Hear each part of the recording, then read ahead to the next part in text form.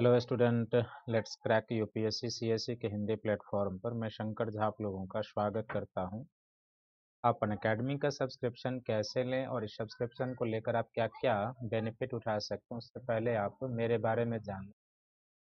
मेरे पास आठ वर्षों के टीचिंग का एक्सपीरियंस है और मैंने दिल्ली और दिल्ली के बाहर देश के कई प्रतिष्ठित संस्थानों और शहरों में पढ़ाया है। मैं हिस्ट्री और जोग्राफी ऑप्शनल पेपर तथा सामान्य अध्ययन का सेक्शन पढ़ाता हूँ। यूपीएससी के मैंने दो बार इंटरव्यू दिए हैं। बीपीएससी के मैंने तीन बार इंटरव्यू दिए हैं और आरपीएससी का मैंने एक बार इंटरव्यू दिया है।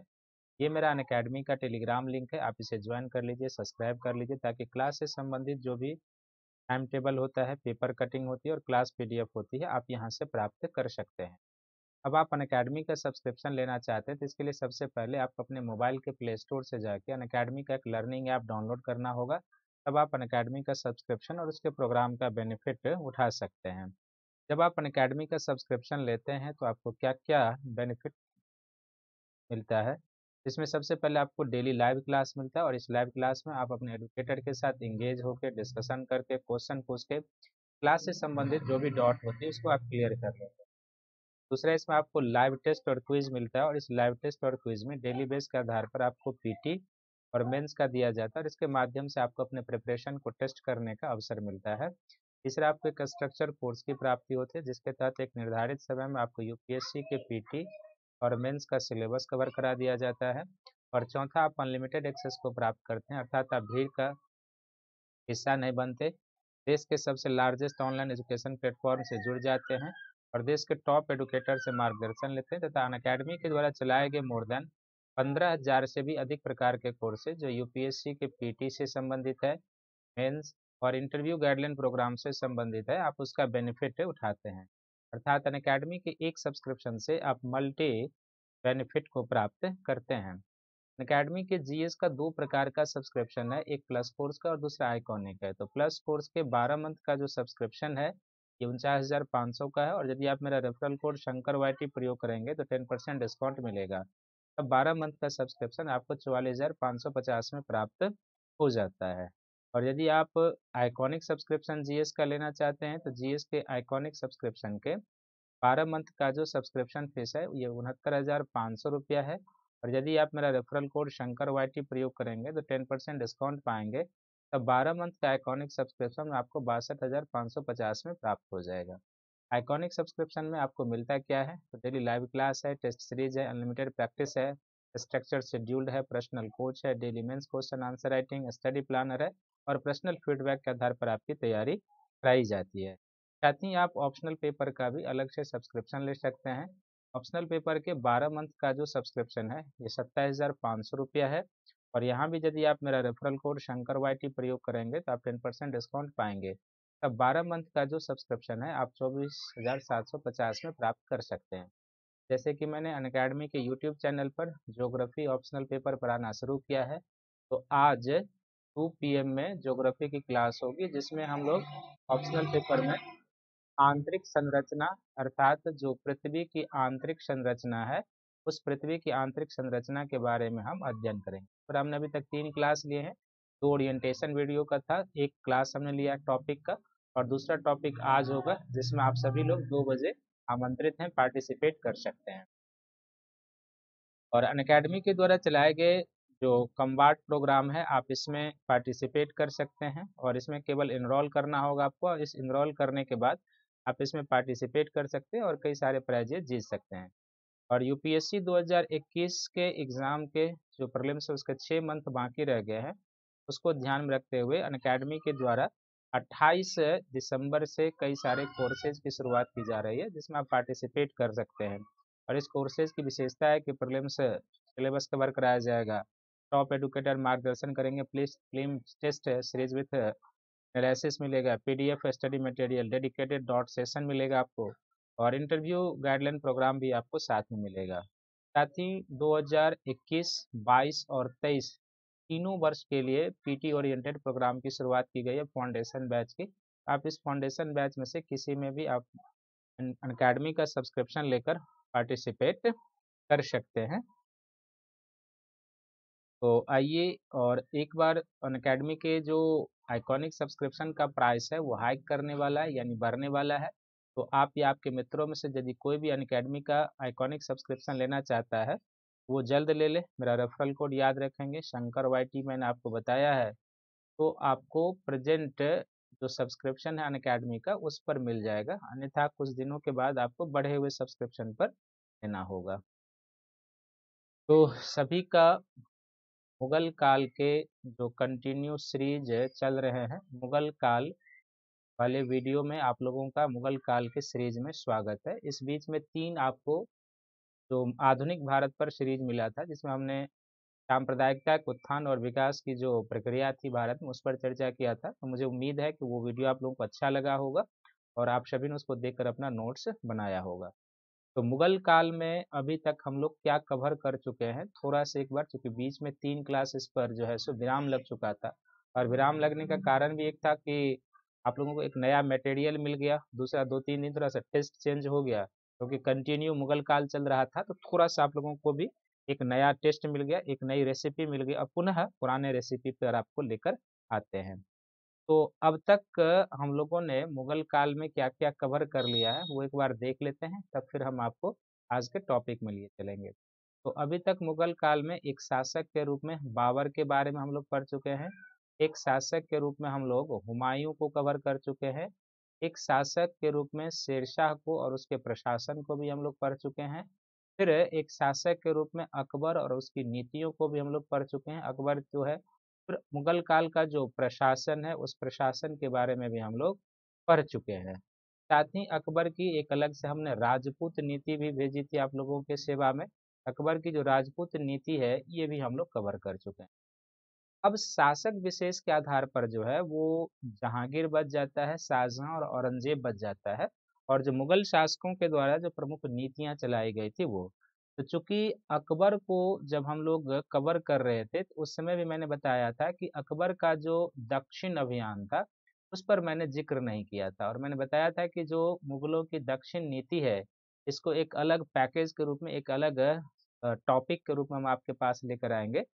तो आज का जो सेशन होगा, यह इसी पर आधारित होगा और आज के सेशन का जो नाम होगा, मुगलों की दक्षिण नीति। मुगलों की दक्कन नीति या दक्कन नीति कहेंगे हम लोग, मुगलों की दक्कन पॉलिसी और ज़ाहिर सी बात है कि जब मुगलों की दक्कन पॉलिसी की बात होगी तो इसमें हम लोग किसको किसको शामिल करेंगे? तो हुमायूं को और बाबर को दक्कन की ओर ध्यान देने का अवसर मिला नहीं था।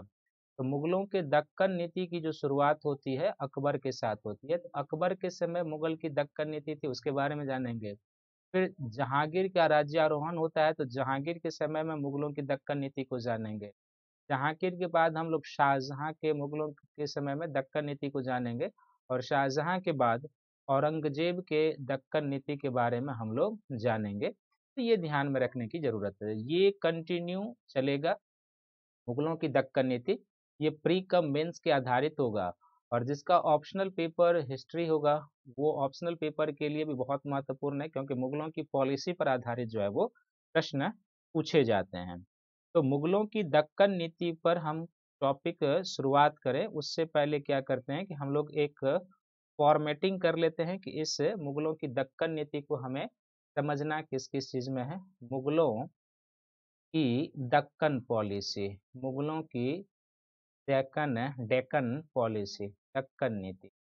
तो इसमें हम लोग देखेंगे सबसे पहले कि मुगलों की जो दक्कन नीति थी तो उस समय जब अकबर के दक्कन नीति की शुरुआत हुई तो उस समय की बात है तो उस समय दक्कन की स्थिति क्या थी? उस समय दक्कन की स्थिति क्या थी? ये हमें देखना है। पहले ये देखेंगे, फिर क्या उत्तर और दक्षिण के बीच कोई संचार साधन उत्तर और दक्षिण के बीच जो परिस्थितियाँ थी उत्तर दक्षिण संपर्क क्या था, कैसा था, संपर्क के ऊपर हम लोग चर्चा करेंगे।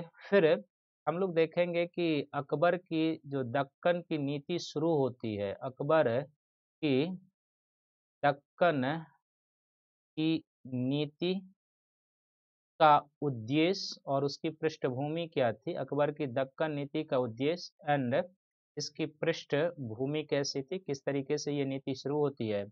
और फिर इसके बाद हम लोग देखेंगे अकबर के बाद जो जहांगीर के समय में दक्कन की नीति क्या रहती है, क्या पृष्ठभूमि होती है? फिर इसमें हम लोग देखेंगे कि शाहजहाँ के समय में दक्कन की स्थिति क्या, उसकी क्या पृष्ठभूमि में नीति शुरू होती है? फिर हम लोग देखेंगे कि औरंगज़ेब के समय में दक्कन की नीति और उसकी क्या पृष्ठभूमि रहती है? और फिर बाद में हम लोग निष्कर्ष निकालेंगे। और निष्कर्ष में कई सारे प्रश्न होंगे कि कई बार यह प्रश्न पूछा जाता है कि जिस तरीके से स्पेन के फोरे ने नेपोलियन का पतन कर दिया, ठीक उसी तरीके से दक्कन के अल्सर ने औरंगज़ेब का पतन कर दिया या मुगलों का पतन कर दिया। तो कई तरीके के प्रश्न आते हैं, उस सभी प्रश्नों पर भी चर्चा होगी। तो एक एक करके हम लोग टॉपिक पर चलते हैं। तो सबसे पहला टॉपिक तो यही होगा कि उस समय यानी कि जब मुगलों के दक्कन की नीति की शुरुआत होती है, उस समय दक्कन की क्या स्थिति थी और किस तरीके से वहाँ पर था। तो चलते हैं सबसे पहले दक्कन की स्थिति, यानी अकबर के समय में क्योंकि अकबर के समय से मुगल की दक्कन की नीति की शुरुआत होती है। तो एक हेडिंग आप लोग बनाएँगे। अकबर के समय, अकबर के समय दक्कन की स्थिति। अकबर के समय दक्कन की स्थिति क्या थी? दक्कन की स्थिति। ये यदि आप समझ जाएँगे तो फिर शासक विशेष की पॉलिसी को समझने में कोई खास परेशानी नहीं होगी, कोई खास दिक्कत आपको नहीं होगी। तो अकबर के समय में जो दक्कन में क्या था कि इस समय दक्कन में जो प्रमुख राज्य थे, इस समय, पहले आप उसको समझ ले, इस समय दक्कन के जो राज्य थे, वो कौन कौन राज्य थे, वो आप ध्यान से देखें इस समय दक्कन में एक मुगलों की सीमा से लगा हुआ जो राज्य था, वो खानदेश का राज्य था। दूसरा एक जो राज्य प्रमुख रूप से था, वह अहमद नगर का राज्य था। अहमदनगर महाराष्ट्र के जो दक्षिणी पश्चिमी का भाग हो जाएगा अहमदनगर का राज्य। फिर यहाँ पर एक बीजापुर का राज्य था, जो कर्नाटक के क्षेत्रों में था, और फिर यहाँ पर एक गोलकुंडा का राज्य था, गोलकुंडा का राज्य। और या आप ये कह लें कि जब तक अहमदनगर के द्वारा और बीजापुर के द्वारा बरार और बीदर को नहीं जीता गया था तो यहाँ पर एक बरार का भी राज्य था और यहाँ पर क्या था, एक बीदर का भी क्या हो जाएगा, राज्य हो जाएगा। इसमें से जो ये पाँच राज्य थे, जो अहमदनगर, बीजापुर, गोलकुंडा, बरार और बीदर है, ये बेसिकली क्या है कि बहमनी साम्राज्य के खंडरों पर निर्मित हुए राज्य थे, जो दक्षिण में आपने बहमनी के बारे में पढ़ा है, उसी के खंडरों पर निर्मित हुए राज्य थे। तो अहमदनगर में जो वंश चलता था, उसको हम लोग कहते थे यहाँ पर निज़ाम शाही वंश कहते थे। निज़ाम शाही वंश यहाँ पर होता था, ये कभी कभी मैच करने के लिए। बीजापुर में जो वंश होता था, उसको यहाँ पर कहा जाता था आदिल शाही वंश। इसलिए यहाँ के शासक में आदिल शाही टाइटल लगा होता था। कुलकुंडा का जो शासक वंश होता था, उसको कुतुब शाही वंश कहा जाता था। तो इसलिए गोलकुंडा के शासकों में कुली कुतुब शाह इस तरीके के कुतुब की उपाधि बरार में जो होता था, बरार शाही वंश होता था, बरार शाही और बीदर में जो होता था, इमाद शाही वंश होता था तो इस तरीके से ये सभी वंश यहाँ पर होते थे। आगे चलकर बरार और बीदर जीत लिए जाते हैं। केवल चार राज्य बस्ती अकबर के समय में, खानदेश होता है, अहमदनगर होता है, बीजापुर होता है, गोलकुंडा होता है, ये ध्यान में रखने की ज़रूरत है। लेकिन अभी के लिए आप ये समझ लीजिए कि बरार और बीदर भी है और ये जो पाँच हैं खानदेश को छोड़कर, ये जो पाँचों है वो बहमनी साम्राज्य जब विघटित होता है तो बहमनी साम्राज्य के खंडरों पर निर्मित ये राज्य थे। ये ध्यान में रखने की ज़रूरत है। तो इस समय ये दक्कन के राज्य थे। अब इन दक्कनी राज्यों में क्या था कि सबसे पहले आप देखिए कि इन दक्कनी राज्यों में दो राज्य सबसे पहले चले कि जो बीजापुर है और जो अहमदनगर है। जो बीजापुर है और अहमदनगर है, इन दोनों राज्यों के बीच तीन क्षेत्रों पर अधिकार को लेकर संघर्ष चल रहा था। तीन क्षेत्रों पर अधिकार को लेकर कौन कौन सा संघर्ष चल रहा था? तो बीजापुर के और अहमदनगर के बीच एक बीदर पर अधिकार को लेकर संघर्ष चल रहा था। दूसरा जो सोलापुर का तटीय क्षेत्र है महाराष्ट्र का, सोलापुर के तटीय क्षेत्र पर अधिकार करने को लेकर संघर्ष।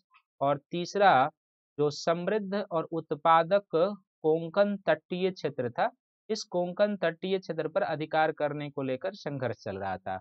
तो बीजापुर और अहमदनगर के बीच बीदर के क्षेत्र पर, सोलापुर के क्षेत्र पर और कोंकण के तटीय क्षेत्र पर संघर्ष चल रहा था, अधिकार करने को लेकर संघर्ष चल रहा था। और ज़ाहिर सी बात है कि जो अहमदनगर था, एक तरीके से वह चाहता था कि दक्षिण भारत की वो सर्वोच्च शक्ति बनना चाहता था। दक्षिण भारत की सर्वोच्च दक्षिण भारत की सर्वोच्च शक्ति बनना चाहता था अहमदनगर। सर्वोच्च शक्ति बनना चाहता था। इसलिए न केवल इसका बीजापुर से संघर्ष हो रहा था, बल्कि गोलकुंडा से भी संघर्ष हो रहा था, वो आगे आपको बताएँगे। सभी राज्य आपस में लड़ रहे थे, लेकिन यहाँ पर ये समझना है कि जो अहमदनगर था, या अहमदनगर चाहता था कि वो दक्षिण भारत की सर्वोच्च शक्ति बन जाए एक तरीके से, वह संघर्ष इस तरीके से चाहता था। लेकिन इसमें जैसे मैंने पहले ही बताया कि ये जो कोंकण का तटीय प्रदेश है, जैसे कि आप भारत के मानचित्र पर यहाँ पर हम एक छोटा सा मानचित्र ड्रॉ कर देते हैं, तब आप समझेंगे तो इस मानचित्र पर आप इसको बड़े अच्छे ढंग से समझ सकते हैं। ये कोंकण तट का एरिया हो जाएगा। तो इस कोंकण तट पर भी जो था, ये अधिकार चाहते थे और कोंकण की जो सीमा थी, वो गुजरात के शासक के राज्य से मिलती थी। यहाँ पर गुजरात का राज्य था तो अहमदनगर के कोंकण तट पर अधिकार करने के कारण क्या था कि जो गुजरात का शासक था, वह भी इसका विरोध कर रहा था। इसका अर्थ यह है कि उत्तर के जो राज्य थे, वो भी दक्षिण की राजनीति में रुचि ले रहे थे और उत्तर और दक्षिण पूरी तरीके से अलग नहीं था, ये ध्यान में रखने की ज़रूरत है। तो एक परिस्थितियाँ ये थी। दूसरी परिस्थितियाँ यहाँ पर क्या थी कि जो बीजापुर और गोलकुंडा है। तो बीजापुर और गोलकुंडा के बीच भी क्या था? संघर्ष चल रहा था। बीजापुर और गोलकुंडा के बीच भी संघर्ष चल रहा था। और बीजापुर और गोलकुंडा के बीच जो संघर्ष चल रहा था, यह बेसिकली महाराष्ट्र में एक नालदुर्ग का क्षेत्र था, जो सामरिक दृष्टिकोण से महत्वपूर्ण क्षेत्र था। नालदुर्ग के सामरिक स्थल पर अधिकार को लेकर नाल दुर्ग के सामरिक स्थल पर अधिकार को लेकर जो है, सो बीजापुर और गोलकुंडा भी आपस में झगड़ रहे थे। तीसरा, चौथा पॉइंट ये ध्यान में रखना है कि 1572 में से लेके 1576 के बीच क्या किया जाता है कि अकबर के द्वारा दो बार गुजरात का अभियान किया जाता है, बहत्तर में ही बेसिकली अकबर के द्वारा गुजरात जीत लिया जाता है। अकबर के द्वारा क्या होता है? गुजरात जीत लिया जाता है। और संभव है कि मुगल इस समय इस क्षेत्र पर आक्रमण कर भी सकते थे, क्योंकि गुजरात पर आक्रमण कर लेने के बाद जो है, सो मुगल दक्कन की राजनीति से बचे नहीं रह सकते थे, जिसका आगे भी हम और ज़िक्र करेंगे। लेकिन इस समय क्या होता है कि गुजरात विजय के बाद अकबर को क्या होता है कि पूर्वी भारत की ओर ध्यान देना पड़ता है, पूर्वी भारत की ओर ध्यान देना पड़ता है। पूर्वी भारत की ओर कहने करता है कि इसी समय क्या होता है कि इसके आगे बिहार और बंगाल सब में विद्रोह हो जाता है, बिहार और बंगाल में विद्रोह हो जाता है, फिर उड़ीसा के मोर्चे पर उधर उलझ जाता है और जब इधर की स्थिति मुगलों के द्वारा यानी अकबर के द्वारा संभाली जाती है, तब तक क्या होता है कि उत्तर पश्चिम सीमांत क्षेत्र पर अकबर को ध्यान देना पड़ता है, क्योंकि उत्तर पश्चिम सीमांत क्षेत्र में जो लाहौर का स्थिति था, वो जो उज्बेक शासक थे, वो थोड़ा सा एग्रेसिव हो रहे थे आक्रामक नीति अपना रहे थे तो अकबर उसके बाद चला जाता उत्तर पश्चिमी सीमा प्रांत और फिर कई सालों तक, यानी कि लगभग पंद्रह तक अकबर लाहौर में ही रहता है राजधानी बना के, जब तक कि उज्बेक शासक की मृत्यु नहीं हो जाती है। तो इसलिए क्या है कि इस समय गुजरात विजय के बावजूद भी अकबर जो है सो दक्षिण भारत की ओर अभियान नहीं कर पाया था, ये ध्यान में रखेंगे। लेकिन इतने समय में यानी कि पंद्रह में गुजरात को जीतता है और अकबर के द्वारा 1590 तक दक्कन पर कोई ध्यान नहीं जाता है, दिया जाता है। क्योंकि उसका रीजन यही था कि कुछ समय के लिए वो पूर्वी भारत, बिहार, बंगाल में उलझता है और उसके बाद जो है उत्तर पश्चिमी सीमा मोर्चे पर काफ़ी लंबे समय तक फंसे रहता है। इस बीच में यानी कि पंद्रह से लेके जो 1590 तक का समय है, जिस बीच में अकबर ने दक्कन की ओर ध्यान नहीं दिया इस बीच में दक्कन के राज्यों ने, खासकर जो अहमदनगर है, जो बीजापुर है और गोलकुंडा है, इस अहमदनगर, बीजापुर और गोलकुंडा ने एक विस्तारवादी नीति अपना ली थी, बीजापुर और गोलकुंडा। इन तीनों राज्यों ने क्या किया था?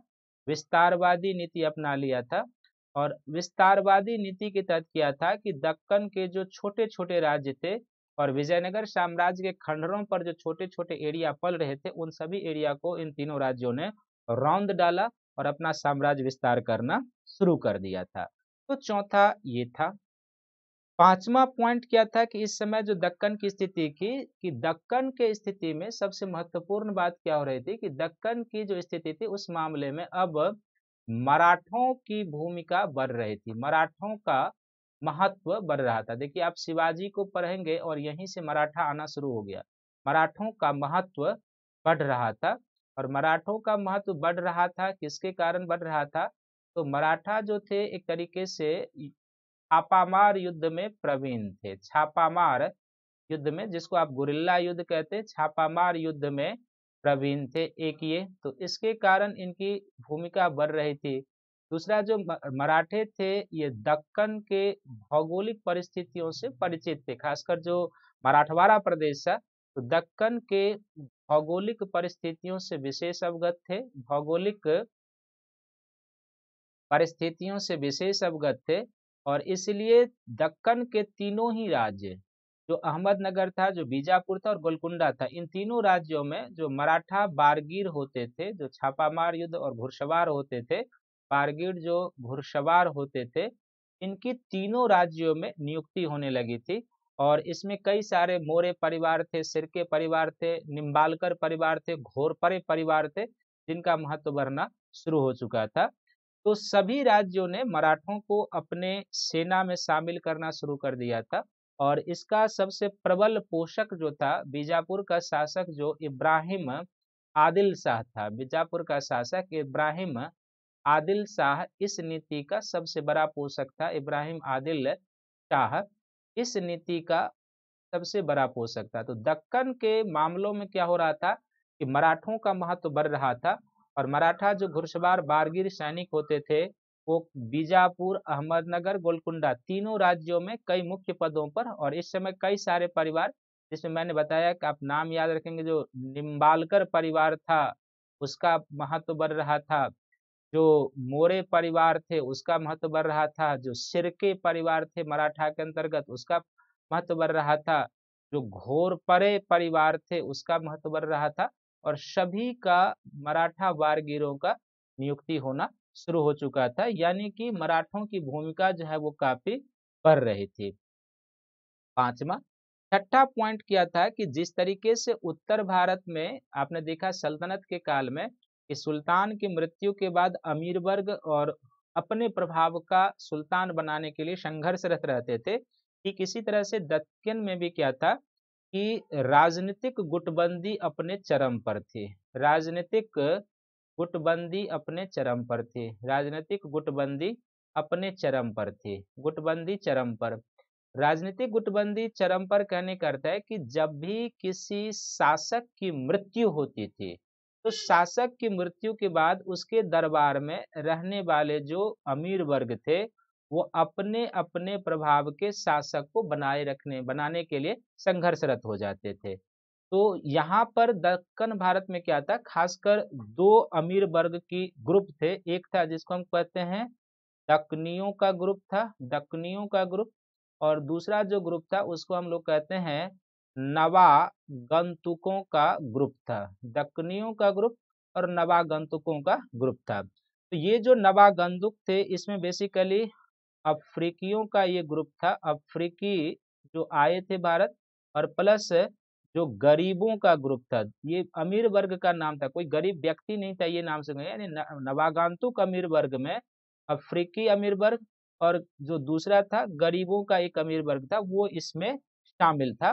और दूसरा क्या था कि दक्कनियों जो थे इसमें दक्कनी जो कुछ दक्षिण भारत के थे, थे ही और दक्षिण भारत के जो थे साथ साथ इसमें एक और था दक्कनियों के ग्रुप में जिसको हम लोग कहते हैं हबसी। हबसी इसमें शामिल थे। और हबसी जो थे वो बेसिकली कौन थे? अबसीनिया का रहने वाला जो मुसलमान था जो भारत आए थे अबसीनिया मूल के और जो अफ्रीकी मूल के थे वो इसमें शामिल थे। और दक्कनियों में तो और साथ साथ यहाँ पर एक क्या था कि दक्कनी प्लस नवागांतुक और एक अफगानों का भी गुट था। तो दक्कन, यहाँ पर आप ये समझ लीजिए कि तीन प्रमुख अमीर वर्गों का गुट था। एक हो जाएगा दक्कनी अमीर वर्ग का गुट पहला, एक, दूसरा हो जाएगा नवागांतुक अमीर वर्ग का गुट और तीसरा हो जाएगा अफगान अमीर वर्ग का गुट। तो जो नवागांतुक अमीर वर्ग थे, उसमें अफ्रीकी और गरीबों का गुट था यानी ये नए नए इनको आए हुए हुए था। दक्कनियों में भी दो ग्रुप शामिल थे, यानी कि जो दक्षिण भारत के रहने वाले मुसलमान थे वो, और दूसरा एक हबसी इसमें शामिल थे, जो बेसिकली अबसीनिया, जो अफ्रीकी और अबसीनियाई कंट्री से आए हुए थे, उसके रहने वाले थे। और तीसरा जो था वो अफगानों का ग्रुप था। तो कभी जब भी कभी शासक की मृत्यु होती थी, खासकर अहमदनगर में ये हमें देखने को मिलता है तो ये सभी अमीर वर्ग जो थे अपने अपने प्रभाव वाले शासक बनाने के लिए बेचैन हो उठते थे। और ज़ाहिर सी बात है कि इसके कारण क्या हुआ था कि इस गुटबंदी के कारण कभी कभी अमीर वर्ग में कभी कभी क्या अक्सर खूनी संघर्ष होता था। और खूनी संघर्ष क्यों होता था? कि अपने प्रभाव का शासक बनाने के लिए और अपना वर्चस्व बनाने के लिए खूनी संघर्ष हुआ करता था। तो इस तरीके से जो दक्कन था ना वह एक धधकता हुआ अग्निकुंड की स्थिति में था इस समय। धधकता हुआ अग्निकुंड की स्थिति में था। छठा पॉइंट। सातवां पॉइंट आपको ध्यान में रखना है कि इस समय क्या था कि सोलहवीं शताब्दी में क्या था कि कुछ और नई तत्व उभर कर आए थे। सोलहवीं शताब्दी में क्या था कि जिस समय भारत में मुगल साम्राज्य की स्थापना हुई थी और उसी समय क्या हुआ था कि ईरान में बेसिकली क्या हुआ था कि ईरान में सफावी साम्राज्य का उदय हुआ था, सफावी साम्राज्य का उदय हुआ था। और सफावी लोग जो थे, वो बेसिकली क्या थे कि सफावी लोग धार्मिक दृष्टिकोण से सिया मत को मानने वाले थे, सिया मत को मानने वाले थे। तो सफावी साम्राज्य से पहले, और यहाँ पर आप ध्यान से देखिए कि सफावी जो थे, ये सिया मत को मानने वाले थे, मुगल शासक जो थे, ये बेसिकली सुन्नी मत को मानने वाले थे, और दक्कन में भी क्या था कि दक्कन में भी क्या होगा तो आप ध्यान से देखिए। ईरान में सफावी साम्राज्य का उदय होता है और सफावी जो थे, ये सिया मत को मानने वाले थे।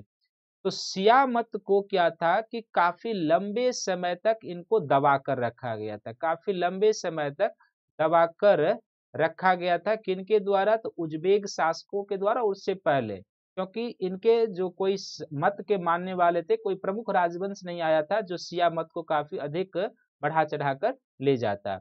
तो सिया मत के मानने वालों को काफ़ी दबा कर रखा गया था। लेकिन जब ईरान में सफवी साम्राज्य का उदय होता है तो सिया मत का यह समर्थक था और शिया मत के लोगों ने क्या किया कि अन्य लोगों पर खुलकर अत्याचार करना शुरू कर दिया। ईरान में खुलकर सिया मत के लोगों ने अन्य मत वालों पर खुलकर अत्याचार करना शुरू कर दिया।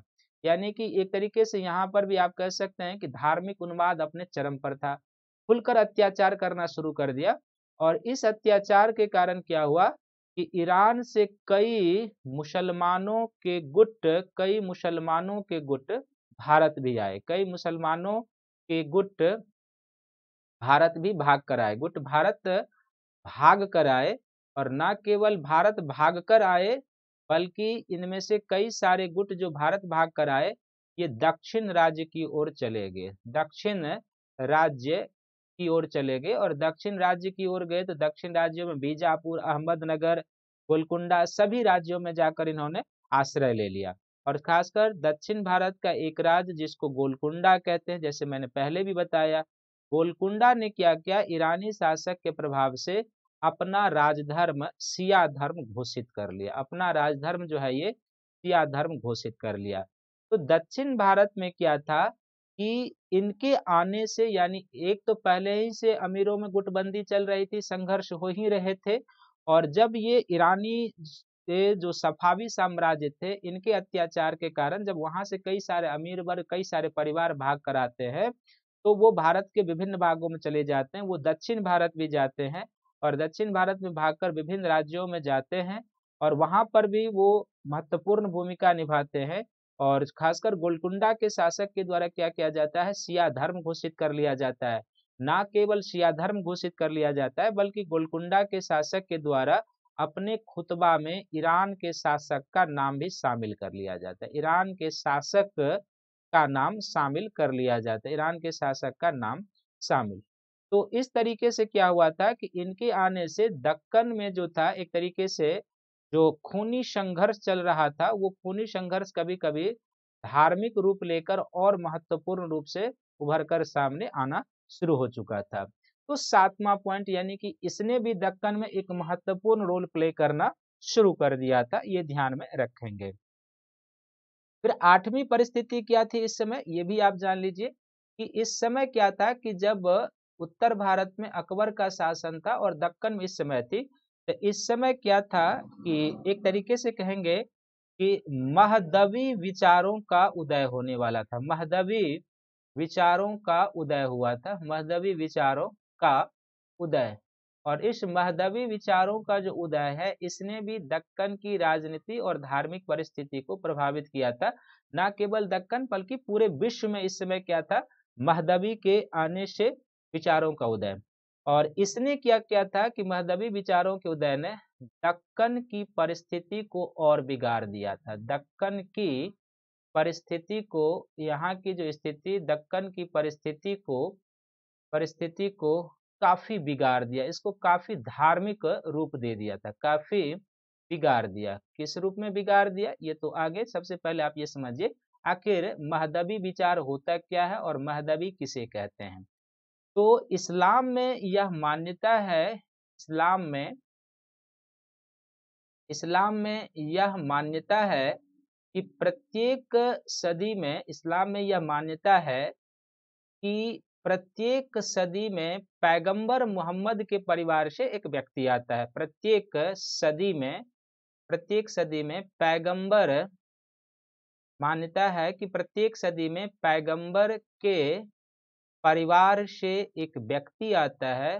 परिवार से एक व्यक्ति आता है।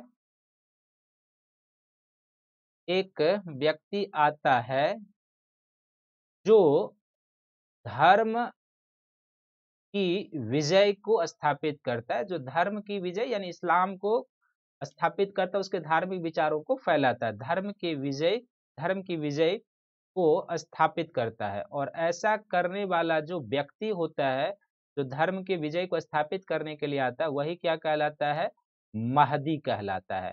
तो इस समय भी क्या था कि इस्लाम में लगभग पूरे विश्व में यह मान्यता थी कि महदी का उदय होगा।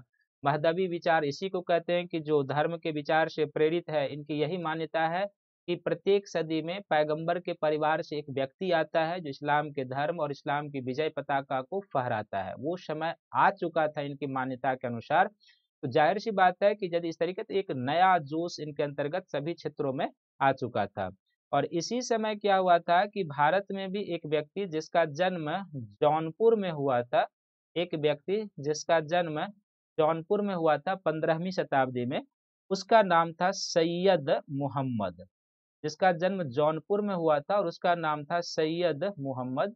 इस सैयद मोहम्मद नामक व्यक्ति ने क्या किया था? अपने आप को महदी घोषित कर दिया था और इसने पूरा उत्तर भारत से लेकर दक्षिण भारत की यात्रा की थी। तो ज़ाहिर सी बात है कि इस महदी के विचारों के उदय से जो परंपरागत और रूढ़िवादी तबके के लोग थे और उस समय तो आप आधुनिक विचारधारा वाले लोगों की कल्पना कर भी नहीं सकते हैं सोलहवीं शताब्दी में तो जो परंपरागत रूढ़िवादी मुसलमान थे वो इस विचारों से काफ़ी प्रेरित थे और इसने क्या किया था कि दक्कन की परिस्थितियों को काफ़ी बिगाड़ कर रख दिया था और जो एक तरीके से आप कहेंगे धर्म के नाम पर संघर्ष आए दिन प्राय होते रहते थे, इसीलिए मैंने आपको कहा था कि दक्कन जो था, एक अग्नि कुंड की स्थिति बन चुका था, एक धधकता हुआ आग का गोला बन चुका था इन राजनीतिक और धार्मिक परिस्थितियों के कारण। और आठवां पॉइंट आपको याद रखने की ज़रूरत क्या है कि आठवां पॉइंट जो दक्कन की परिस्थितियाँ थी और शायद अकबर के दक्कन के नीति की शुरुआत का एक कारण भी आप मान सकते हैं कि इस समय तक क्या हो चुका था कि जो पुर्तगाली थे वो दक्षिण भारत में आ चुके थे। पुर्तगाली का बढ़ता प्रभाव। इस पुर्तगाली का जो बढ़ता प्रभाव था, इसके प्रभाव को भी सीमित करने के लिए अकबर ने दक्कन की नीति की शुरुआत की थी। यानी कि पुर्तगाली भी दक्षिण भारत में क्या थे, एक महत्वपूर्ण रोल प्ले करना शुरू कर दिए थे। और इनके बारे में तो मैंने विजयनगर के साथ ही एक वीडियो बनाकर आपको बताया था कि किस तरीके से इनको तो इस समय क्या था कि चूँकि गुजरात का जो ये एरिया था, ये तो मुगल के अधीन आ चुका था। लेकिन यहाँ पर क्या था कि पुर्तगाली भी जमे हुए थे।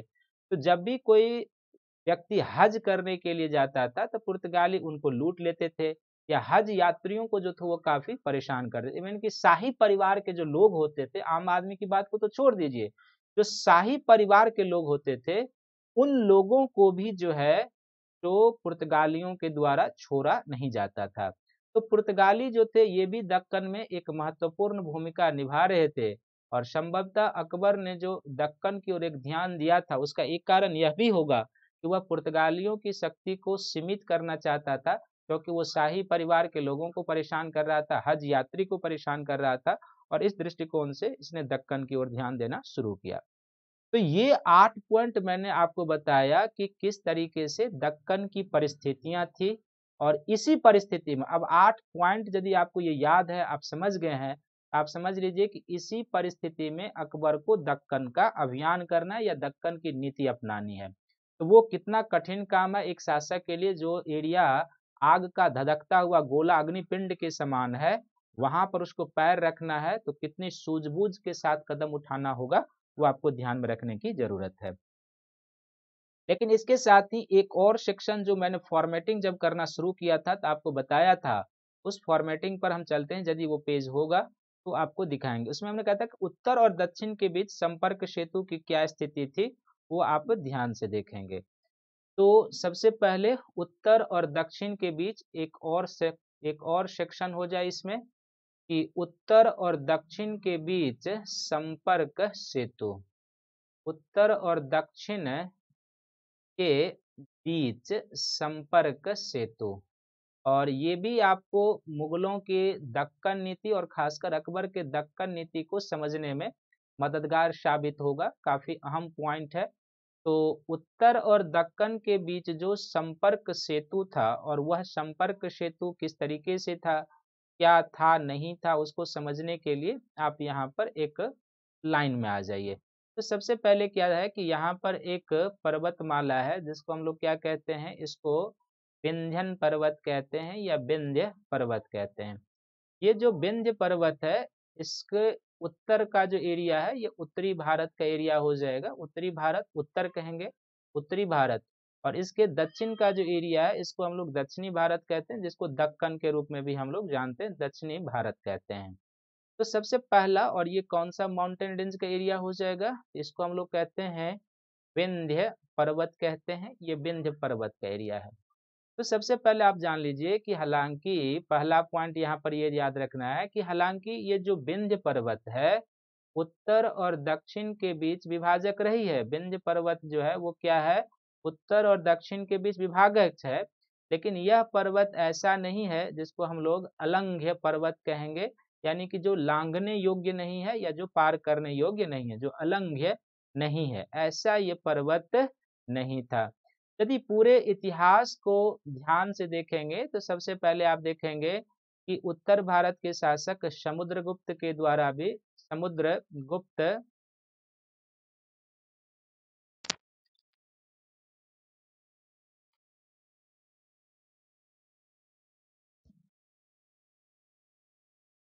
उत्तर भारत के शासक समुद्रगुप्त के द्वारा विंध्य पर्वत को पार किया गया था, ये ध्यान में रखेंगे।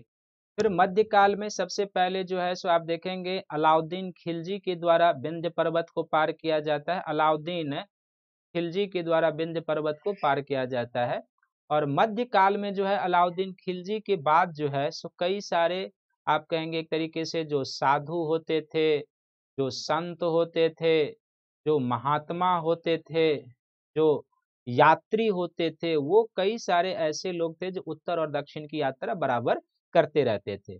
तो पहला पॉइंट तो यही याद रखना है कि जो विंध्य पर्वतमाला था, वो उत्तर और दक्षिण के बीच विभाजक ज़रूर है, लेकिन वह ऐसा अलंघनीय विभाजक नहीं था जिसे पार नहीं किया जा सकता था। समुद्रगुप्त ने भी इसको पार किया था और वो उसने पल्लव तक के क्षेत्र पर आक्रमण किया था। अलाउद्दीन खिलजी ने इसको पार किया था। फिर साधु संत महात्मा यात्री कई ऐसे थे जिसने इसके कारण क्या हुआ था कि उत्तर और दक्षिण के बीच संपर्क के साधन बढ़ गए थे।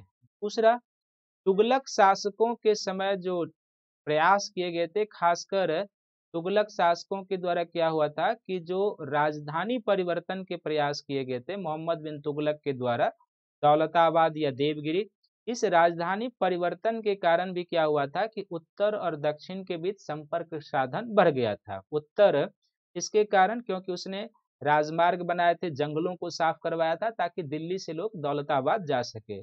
इसके कारण भी क्या था कि उत्तर और दक्षिण के जो बीच है, यह संपर्क साधन बढ़ चुके थे। उत्तर और दक्षिण के बीच संपर्क सेतु बढ़ चुके थे या संपर्क साधन बढ़ चुके थे, ये ध्यान में रखने की ज़रूरत है। और तीसरा पॉइंट यहाँ पर ध्यान में यह भी रखने की ज़रूरत है कि जब दिल्ली सल्तनत का पतन होता है तो दिल्ली सल्तनत के पतन के बाद क्या होता है? दिल्ली सल्तनत के पतन के बाद, दिल्ली सल्तनत के पतन के बाद, कई सारे जो कवि होते हैं, कई सारे जो कवि होते हैं, जो लेखक होते हैं, जो यात्री होते हैं और कई सारे सामान्य लोग भी रोज़गार की खोज में दक्कन की ओर आ जाते हैं। रोज़गार की तलाश में दक्कन की ओर आ जाते थे इसके कारण भी क्या था कि उत्तर और दक्षिण के बीच काफ़ी संपर्क बढ़ चुका था। तो यह कभी भी नहीं समझना है कि इतिहास के किसी भी समय में उत्तर और दक्षिण जो है वो पूरी तरीके से अलग रहे, ये कभी नहीं समझना है। भौगोलिक दूरियाँ ज़रूर थी, लेकिन उस भौगोलिक दूरी को और जो भौगोलिक दूरियों को बनाने वाला चीज़ था, जो विंध्य पर्वत था, वो भी कोई ऐसा नहीं था जिसको पार नहीं किया जा सकता था, जो मैंने आपको बताया। और चौथा और सबसे महत्वपूर्ण बात क्या था, जो आपको ध्यान में रखने की ज़रूरत है जो संपर्क सेतु में जो मैंने आपको बताया, उसमें सबसे महत्वपूर्ण बात जो आपको ध्यान में रखने की ज़रूरत है, वह यह है चौथा पॉइंट कि इसको भी आप मानचित्र के थ्रू समझेंगे तो ज़्यादा समझ में आएगा। यहाँ पर हम एक मैप ड्रॉ कर देते हैं और इसके बाद आप समझ जाएँगे कि इसकी जो पृष्ठभूमि है वो क्या है। यहाँ पर देखेंगे तो जो नर्मदा का ऊपरी भाग का एरिया था, यहाँ पर एक मालवा का राज्य था। जो नर्मदा और तापती बेसिन का राज्य था, मालवा। और मालवा का सीधा जो संपर्क था, ये अहमदनगर से। और यहाँ पर ये जो एरिया होता था, मालवा के राज्य की सीमा से लगते हुए, ये एरिया था यहाँ पर गुजरात राज्य का, गुजरात राज्य का। और इधर उड़ीसा का राज्य था, जहाँ पर आपने विजयनगर के समय पर है, गजपति शासक होते थे। तो उड़ीसा का राज्य था यहाँ पर और गजपति शासक होते थे। तो यहाँ पर ये ध्यान में रखना है कि गुजरात के शासक, मालवा के शासक और उड़ीसा के शासक, ये तीन ऐसे शासक थे जो पहले भी दक्षिण की राजनीति से जुड़े रहे हैं। पहले भी दक्षिण की राजनीति से जुड़े रहे हैं। ये तीनों जो हैं पहले भी दक्षिण की राजनीति से जुड़े रहे हैं। गुजरात भी जुड़ा रहा है, मालवा भी जुड़ा रहा है, उड़ीसा भी जुड़ा रहा है, ये तीनों दक्षिण की राजनीति से जुड़ा रहा है। और जब अकबर के द्वारा पंद्रह सौ इकसठ बासठ में मालवा को जीत लिया जाता है, पंद्रह में गुजरात को जीत लिया जाता है और फिर पंद्रह तिहत्तर तिहत्तर से छिहत्तर के बीच में लगभग पूर्वी भारत, बंगाल, बिहार, उड़ीसा को मुनिम खां और मानसिंह के द्वारा जीत लिया जाता है। तो ज़रूर था कि अब अकबर दक्षिण भारत की राजनीति में प्रवेश किए बिना रह नहीं सकता था। इसलिए चूँकि पहले भी ये राज्य दक्षिण की राजनीति में रुचि लेते रहे गुजरात, जैसे मैंने अभी भी आपको बताया कि अकबर के जो बीजापुर और अहमदनगर के बीच जो कोंकण प्रदेश पर अधिकार को लेकर संघर्ष चल रहा था तो गुजरात के शासक इसका अवरोध कर रहे थे। ये ध्यान में रखने की ज़रूरत है। और मालवा का भी जो है सो यहाँ पर प्रत्यक्ष संपर्क था, उड़ीसा के भी शासक का पहले संपर्क था। तो इसके कारण क्या था कि अब मुगल दक्कन की राजनीति से अलग नहीं रह सकते थे, क्योंकि गुजरात को उन्होंने जीत चुकी लिया था, मालवा को जीत लिया था, उड़ीसा को जीत लिया था। तो ज़ाहिर सी बात है कि जिन राज्यों का पहले से भी दक्कन की राजनीति में रुचि रही है, आपने उन राज्यों की विजय कर ली है तो फिर आप दक्कन की राजनीति से अलग नहीं रह सकते। यह अब क्लियर हो चुका था। तो इसी पृष्ठभूमि में जो मैंने आठ, नौ पॉइंट पहले आपको बताया था कि दक्कन की क्या स्थिति थी उस समय वो, और जो अभी उत्तर दक्षिण संपर्क सेतु बताया, और ये जो तीन राज्यों की विजय के बाद जो मुगलों की स्थिति थी, उसके तहत या उसी पृष्ठभूमि में आपको दक्कन की, मुगलों की दक्कन की और अकबर की दक्कन की नीति को आपको समझना है। तो सबसे पहले अब आपको हम लिए चलते हैं कि अकबर की जो दक्कन की नीति है, यहाँ तक जब आप समझ गए हैं तो अकबर की दक्कन की नीति को आप समझिए और कैसे क्या है, किस तरीके से ये चीज़ें आगे बढ़ती है तो सबसे पहले एक हेडिंग बनाएँगे अकबर की दक्कन नीति। अकबर की दक्कन नीति या डेक्कन पॉलिसी, दक्कन नीति। तो अकबर की जो दक्कन नीति थी, सबसे पहले इस नीति का उद्देश्य क्या था? ठीक, ये जान लेते हैं, इस नीति का उद्देश्य क्या था? पहला पॉइंट दूसरा, जो नीति का उद्देश्य था और क्या प्रयास करता है अकबर, क्या प्रयास करता है उसको? इस प्रयास को आप दो श्रेणियों में रख सकते हैं। अकबर के द्वारा क्या होता है कि एक कूटनीतिक प्रयास भी किया जाता है, कूटनीतिक प्रयास और दूसरा अकबर के द्वारा फिर जो कहते हैं ना कि युद्ध या साम दाम की जो बात होती है तो युद्ध नीति का भी सहारा लिया जाता है। युद्ध नीति का सहारा, युद्ध नीति का सहारा ये लिया जाता है और फिर लास्ट में हम लोग देखेंगे कि अकबर के समय में कुल मिलाकर उपलब्धि क्या रहती है, दक्कन की नीति की, वो हम लोग देखेंगे कि कुल मिलाकर उपलब्धि क्या रहती है। क्योंकि जो उपलब्धि अकबर कायम करेगा, जैसी परिस्थितियाँ रहेगी, उसी पृष्ठभूमि में जहांगीर को काम करना होगा तो आप उसको समझ पाएँगे जहांगीर की नीति। उसी पृष्ठभूमि में क्या होगा? जहांगीर को भी काम करना होगा। पृष्ठभूमि में जहांगीर को उसी पृष्ठभूमि में, उसी पृष्ठभूमि में जहांगीर को काम करना होगा। तो उसको समझने के लिए जहांगीर को काम करना होगा। तो ज़ाहिर सी बात है कि इस तरह की स्थिति को समझने के लिए एक समग्र विश्लेषण की ज़रूरत है। तो सबसे पहले अकबर के दक्कन नीति का क्या उद्देश्य था? तो सबसे पहला पॉइंट तो आप ये जान लीजिए कि चूँकि अकबर जो था, पूरे भारत पर प्रभुता का दावा करता था। पूरे भारत पर प्रभुता का दावा करता था। तो पूरे भारत पर प्रभुता का दावा करता था, ये आप ध्यान से रखेंगे। एक, दूसरा, अब पूरे भारत पर प्रभुता का आप दावा करेंगे तो इसका ज़ाहिर सी बात है कि साम्राज्य के एक ही क्षेत्र में पूरे दक्षिण को भी आ जाना चाहिए। एक, दूसरा क्या था कि अकबर साम्राज्यवादी शासक था, ये तो आप जानते ही हैं। और साम्राज्यवादी शासक होने के नाते क्या था कि साम्राज्य विस्तार और साम्राज्य की सुरक्षा उसकी उद्देश्य होती थी। तो जिस समय अकबर दक्कन की ओर कदम उठाता है, वो लगभग पंद्रह सौ इक्यानवे का समय है, ठीक ना? और पंद्रह सौ इक्यानवे में जो अकबर दक्कन की ओर कदम उठाता है तो इस समय अकबर के द्वारा क्या किया जाता है कि उत्तर भारत पूरी तरीके से अकबर जीत चुका था। उत्तर भारत को पूरी तरीके से क्या किया जा चुका था? उत्तर भारत जीत चुका था, कश्मीर से लेके बिंद तक। उत्तर भारत जीत चुका था। पूर्वोत्तर में भी लगभग मानसिंह और मानसिंह के द्वारा असम तक के क्षेत्रों पर अधिकार कर लिया। पूर्वोत्तर में भी जीत चुके थे। पश्चिमोत्तर सीमा प्रांत में भी अकबर ने एक वैज्ञानिक सीमा को प्राप्त कर लिया था। पश्चिमोत्तर क्षेत्र में भी आपने देखा था, जो पिछला लेक्चर सब है कि सिंध का एरिया जीता जा चुका है, बलूचिस्तान का एरिया जीता जा चुका है, मकरान जीता जा चुका है, काबुल जीता जा चुका है, लाहौर जीता जा चुका है। तो पश्चिमोत्तर में एक वैज्ञानिक सीमा अकबर प्राप्त कर चुका है। एक वैज्ञानिक सीमा अकबर प्राप्त कर चुका है। तो अब ज़ाहिर सी बात है कि यदि आप साम्राज्यवादी शासक और साम्राज्य विस्तार की इच्छा रखते हैं तो एक ही क्षेत्र बचता है, एक ही क्षेत्र बचता है और वह क्षेत्र कौन सा बचा था? एक ही क्षेत्र बचा और वह क्षेत्र बचा था दक्षिण भारत, जिधर जिसे जिधर अकबर कदम उठा रहा था। तो साम्राज्यवादी प्रवृत्ति का शासक था और साम्राज्य की एक पूरे भारत को एक छत्र में लाना चाहता था। इसको आप अकबर के एकीकरण के नीति के तहत समझिए। साम्राज्यवादी शासक तो वो था ही, लेकिन साथ ही अकबर के द्वारा जो संपूर्ण भारत को एकीकरण की दिशा में प्रयास किए जा रहे थे, उस एकीकरण के तहत भी ज़रूरी था कि दक्षिण के राज्य अब अकबर या मुगल साम्राज्य के अधीन आए, ऐसा अकबर का सोच था।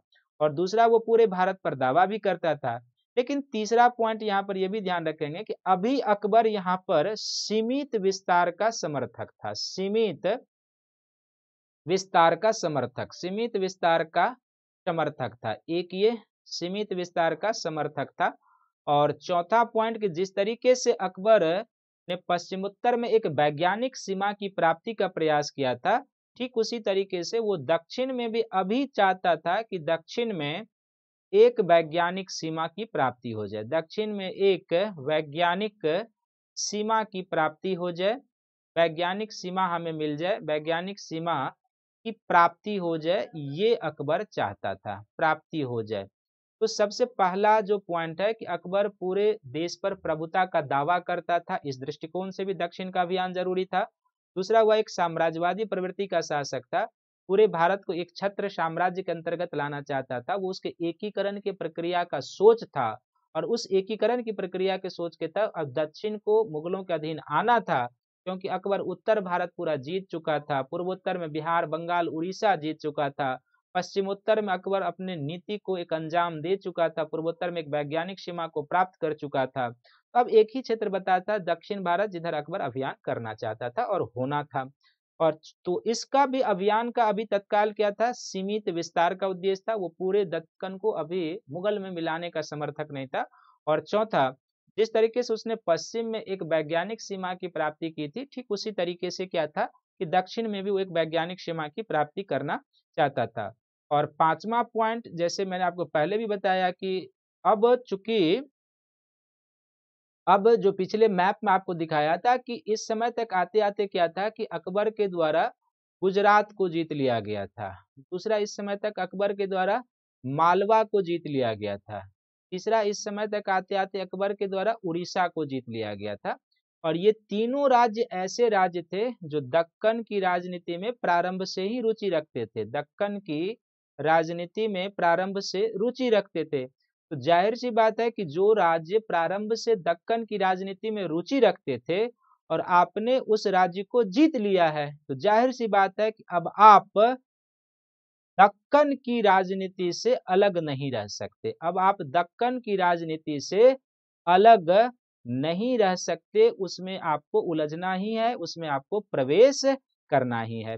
और किस स्थिति में अकबर प्रवेश करता है तो वो आठ पॉइंट आपको बताया था। पुर्तगाली की क्या स्थिति थी कि वो हज जाने वाले यात्रियों को सताते थे, इवन कि शाही परिवार के लोगों को भी बकसते नहीं थे। तो इसी पृष्ठभूमि में अकबर के दक्कन की नीति को समझना है। तो उद्देश्य क्या था, ये आप समझ गए। अब ज़ाहिर सी बात है कि इसके दिशा में अकबर के द्वारा क्या प्रयास किया जाता है तो सबसे पहले अकबर क्या करता है, कूटनीतिक प्रयास करता है। और कूटनीतिक प्रयास के बाद उसके द्वारा युद्ध नीति का भी सहारा लिया जाता है। तो अगले पेज में हम आपको लिए चलते हैं। सबसे पहले देखते हैं कि अकबर के द्वारा जो कूटनीतिक प्रयास किए जाते हैं वो। तो सबसे पहले अकबर एक हेडिंग बना लेंगे। आप लोग भी अकबर के द्वारा किए गए प्रयास। अकबर के द्वारा किए गए प्रयास। तो अकबर के द्वारा जो किए गए प्रयास हैं, क्या प्रयास किए गए इस दिशा में, वो आप ध्यान से देखेंगे। तो अकबर के द्वारा जो किया गया प्रयास है, जैसे मैंने पहले भी कहा, इसको आप दो सेक्शन में बांट कर रख लें। दो सेक्शन में बांट कर क्या रख लें? तो एक, अकबर के द्वारा कूटनीतिक प्रयास किया जाता है, कूटनीतिक प्रयास। और दूसरा, जब कूटनीतिक प्रयास में उसे विफलता लगती है, हालाँकि इसमें आंशिक सफलता भी, तब वो क्या करता है कि युद्ध नीति का सहारा लेता है, युद्ध नीति का सहारा लेता है।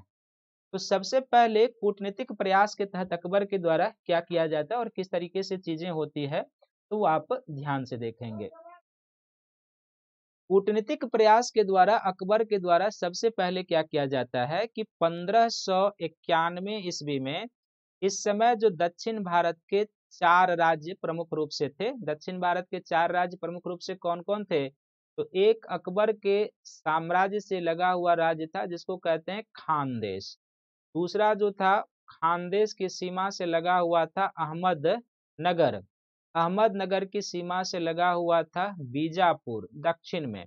और चौथा जो यहाँ पर राज्य था, वो क्या था? गोल कुंडा राज्य था। ये यहाँ पर ध्यान से रखने की ज़रूरत है। अकबर ने पंद्रह में क्या किया? इन चारों राज्यों को एक समझ एक तरीके से लेटर भेजा और लेटर भेजा कि ये चारों राज्य जो है, मुगलों की प्रभुता को स्वीकार कर ले। मुगलों की प्रभुता को स्वीकार लें। यह कहकर उसने चारों राज्यों को एक लेटर भेजा या कूटनीतिक मिशन भेजा, ये आप कह सकते हैं। अकबर चूँकि चाहता था कि जिस तरीके से राजपूतों ने उत्तर भारत में यहाँ पर आप तुलना कर सकते हैं कि वह चूँकि पूरे भारत पर प्रभुता का दावा करता था, अकबर की सोच थी कि जिस तरीके से उत्तर भारत में, जिस तरीके से उत्तर भारत में राजपूतों ने अकबर या मुगलों की प्रभुता को स्वीकार कर लिया और एक तरीके से शासक वर्ग वर्ग के स्तर पर संघर्ष की समाप्ति हो गई, ठीक उसी तरीके से दक्कन के राज्य भी हमारी प्रभुता को स्वीकार कर लें ये। लेकिन अकबर ने जो ये भेजा था, जो यहाँ पर भेजा था तो अकबर इसमें केवल खानदेश ने अकबर के जो प्रभुता के दावे था, उसका समर्थन किया कि ठीक है, हम आपकी बातों को मान लेते हैं, आपको अपना प्रमुख मुगलों को हम प्रमुख मान लेते हैं। लेकिन शेष तीन राज्यों ने जो है, इसकी दिशा में कोई खास नहीं। खासकर अहमदनगर ने जो अहमदनगर का शासक उस समय का था, बुरहान था। उस अहमदनगर के शासक बुरहान जो मुगल दूत उसके यहाँ गया था, उस मुगल दूत के साथ किया था? एक तरीके से अशिष्टता से पेश आया था। मुगल दूत के साथ अशिष्टता से पेश आया था। तो ज़ाहिर सी बात है कि यह एक तरीके से मुगल बादशाह का अपमान था। अभी यदि मान लीजिए कि भारत सरकार का कोई मिशन किसी विदेश में जाता है और वो मिशन यदि प्रधानमंत्री यानी केंद्र सरकार के द्वारा नियुक्त किया गया और उस मिशन की वहाँ पर अपमान होती है तो वो मिशन का अपमान एक तरीके से भारत सरकार का अपमान होता है। तो ठीक उसी तरीके से अहमदनगर का शासक जो बुहरान था, उसने ना केवल प्रभुता को स्वीकार किया, बल्कि उसने उस दूत मंडल से अशिष्टता के साथ पेश आया। यह अकबर के लिए एक तरीके से आप कह सकते हैं, अकबर के लिए अकबर के लिए अपमान और चुनौती की बात थी। अकबर के लिए क्या था? एक अपमान की भी बात थी और प्लस चुनौती की बात थी। शेष जो बीजापुर और गोलकुंडा के राज्य थे, इन दोनों राज्यों ने कहा कि प्रभुता का दावा तो नहीं माना कि हम आपके प्रभुता, केवल मित्रवत संबंध बना रहेगा आपके साथ, मित्रवत संबंध बना रहेगा, इसका इन दोनों राज्यों ने आश्वासन दिया। और इतिहासकार यह भी मानते हैं कि इस दिशा में खानदेश ने भी यदि हामी भरी कि हाँ ठीक है, हम आपकी प्रभुता को स्वीकारते हैं तो खानदेश के में भी हामी भरने का दो कारण था। पहला कारण था कि खानदेश की जो सीमा थी वह मुगल साम्राज्य से सटती थी। तो मुगल साम्राज्य से इसकी सीमा लगी थी तो ज़ाहिर सी बात है कि कभी भी मुगल सेना द्वारा कुचले जाने के भय के डर से यह जो है सो हामी भर दिया होगा, ऐसा कुछ इतिहासकारों का माना जो सत्य भी होगा। और दूसरा संभव है कि वही बात कि खानदेश के पास इस तरह की सैन्य क्षमता नहीं थी, खानदेश के पास इस तरह की सैन्य क्षमता नहीं थी कि वह मुगलों के प्रतिरोध का सहन करे। तो संभवतः इसी कारण से खानदेश ने हामी भरी थी, वरना खानदेश भी हामी नहीं भरता। तो ज़ाहिर सी बात है कि जब, अब अकबर इस तरीके से स्थिति में क्या करेगा? कूटनीतिक प्रयास जो है, कूटनीतिक मिशन अकबर का लगभग असफल हो गया, क्योंकि खानदेश को छोड़कर और किसी ने भी अकबर के प्रस्ताव को स्वीकार नहीं किया। और जब अकबर के प्रस्ताव को स्वीकार नहीं किया, बल्कि उसके जो भेजे गए थे शिष्टमंडल, उसके साथ भी जो निज़ाम था, वो अशिष्टता से पेश आया था। तो अब अकबर की पहली प्राथमिकता होती है कि अहमदनगर के विरुद्ध मुगल सेना का अभियान होता है। तो अहमदनगर के विरुद्ध जो मुगल सेना का अभियान होता है, किस तरीके से होता है और क्या परिस्थितियाँ होती है, वो आप ध्यान से देखेंगे तो हम आपको लिए चलेंगे। तो अब अकबर के द्वारा क्या किया जाता है कि सबसे पहले दक्कन की नीति में अकबर सैन्य अभियान पर अब आ जाता है, सैन्य अभियान। कूटनीतिक मिशन समाप्त और अब अकबर कहाँ चलता है? सैन्य अभियान पर। और सैन्य अभियान कहाँ पर होना है? तो चूँकि अहमदनगर सबसे पहले अशिष्टता से पेश आया था तो अहमद नगर के विरुद्ध जो है यह अभियान होना था। तो अहमदनगर के विरुद्ध जो अभियान होना था, इससे पहले अहमदनगर की जो राजनीतिक दशा थी, वो क्या थी? वो आप ध्यान से समझ लीजिए। तो आप समझ लेंगे। अहमदनगर की स्थिति क्या थी, वो आप ध्यान से देखिए। अहमदनगर की जो स्थिति थी, इसमें क्या था कि इसी समय क्या होता है कि बुहरान की मृत्यु हो जाती है। बुहरान जो समय अहमदनगर का शासक था, बुहरान की मृत्यु। और बुहरान की जो मृत्यु हो जाती है तो इसकी मृत्यु के बाद जो है, चार गुट यहाँ पर चार शासक का समर्थन कर रहे थे। चार गुट चार शासक का समर्थन करने लगते हैं, चार गुट, चार शासक का समर्थन करने लगते हैं। मैंने पहले ही बताया था कि गुटबंदी चरम पर था, दक्षिण भारत में भी। तो चार गुट, चार शासक का समर्थन, इसमें सबसे प्रबल दावेदार जो था, जो प्रबल दावेदार था, चार गुट, चार शासन का जो समर्थन था, इसमें सबसे प्रबल दावेदार जो था, वह बुहरान का पुत्र बहादुर था। बुहरान का पुत्र बुहरान का पुत्र बहादुर जो था, वो सबसे प्रबल दावेदार था। लेकिन बहादुर जो था, ये क्या था कि अल्प वयस्क था। बहादुर जो था, क्या था, ये अल्प वयस्क था। लेकिन इसी समय क्या होता है कि बहादुर जो अल्प वयस्क था तो इसी समय अहमदनगर की राजनीति में चाँद बीबी की एंट्री होती है और चाँद बीबी जो है, जो अहमदनगर के तरीके की शासिका बुहरान के संरक्षण में बनती है, चाँद बीबी की एंट्री हो जाती है, यानी कि चाँद बीबी का प्रवेश हो जाता है इसकी राजनीति में। और जब चाँद बीबी बहादुर के संरक्षक के रूप में सत्ता संभालने लगती है तो बिल्कुल ही वो कूटनीतिक प्रतिभा की धनी थी, वीरांगना थी, इसमें कोई दो रह नहीं है।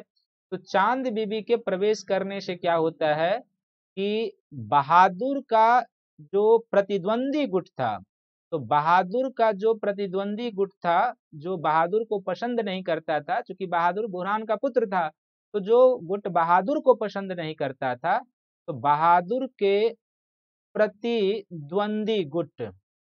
और बहादुर के प्रतिद्वंदी गुट का अर्थ हो गया कि वो चाँद बीबी का भी प्रतिद्वंदी गुट हो जाएगा, क्योंकि चाँद बीबी जो है वो कौन है? बहादुर के संरक्षक हैं।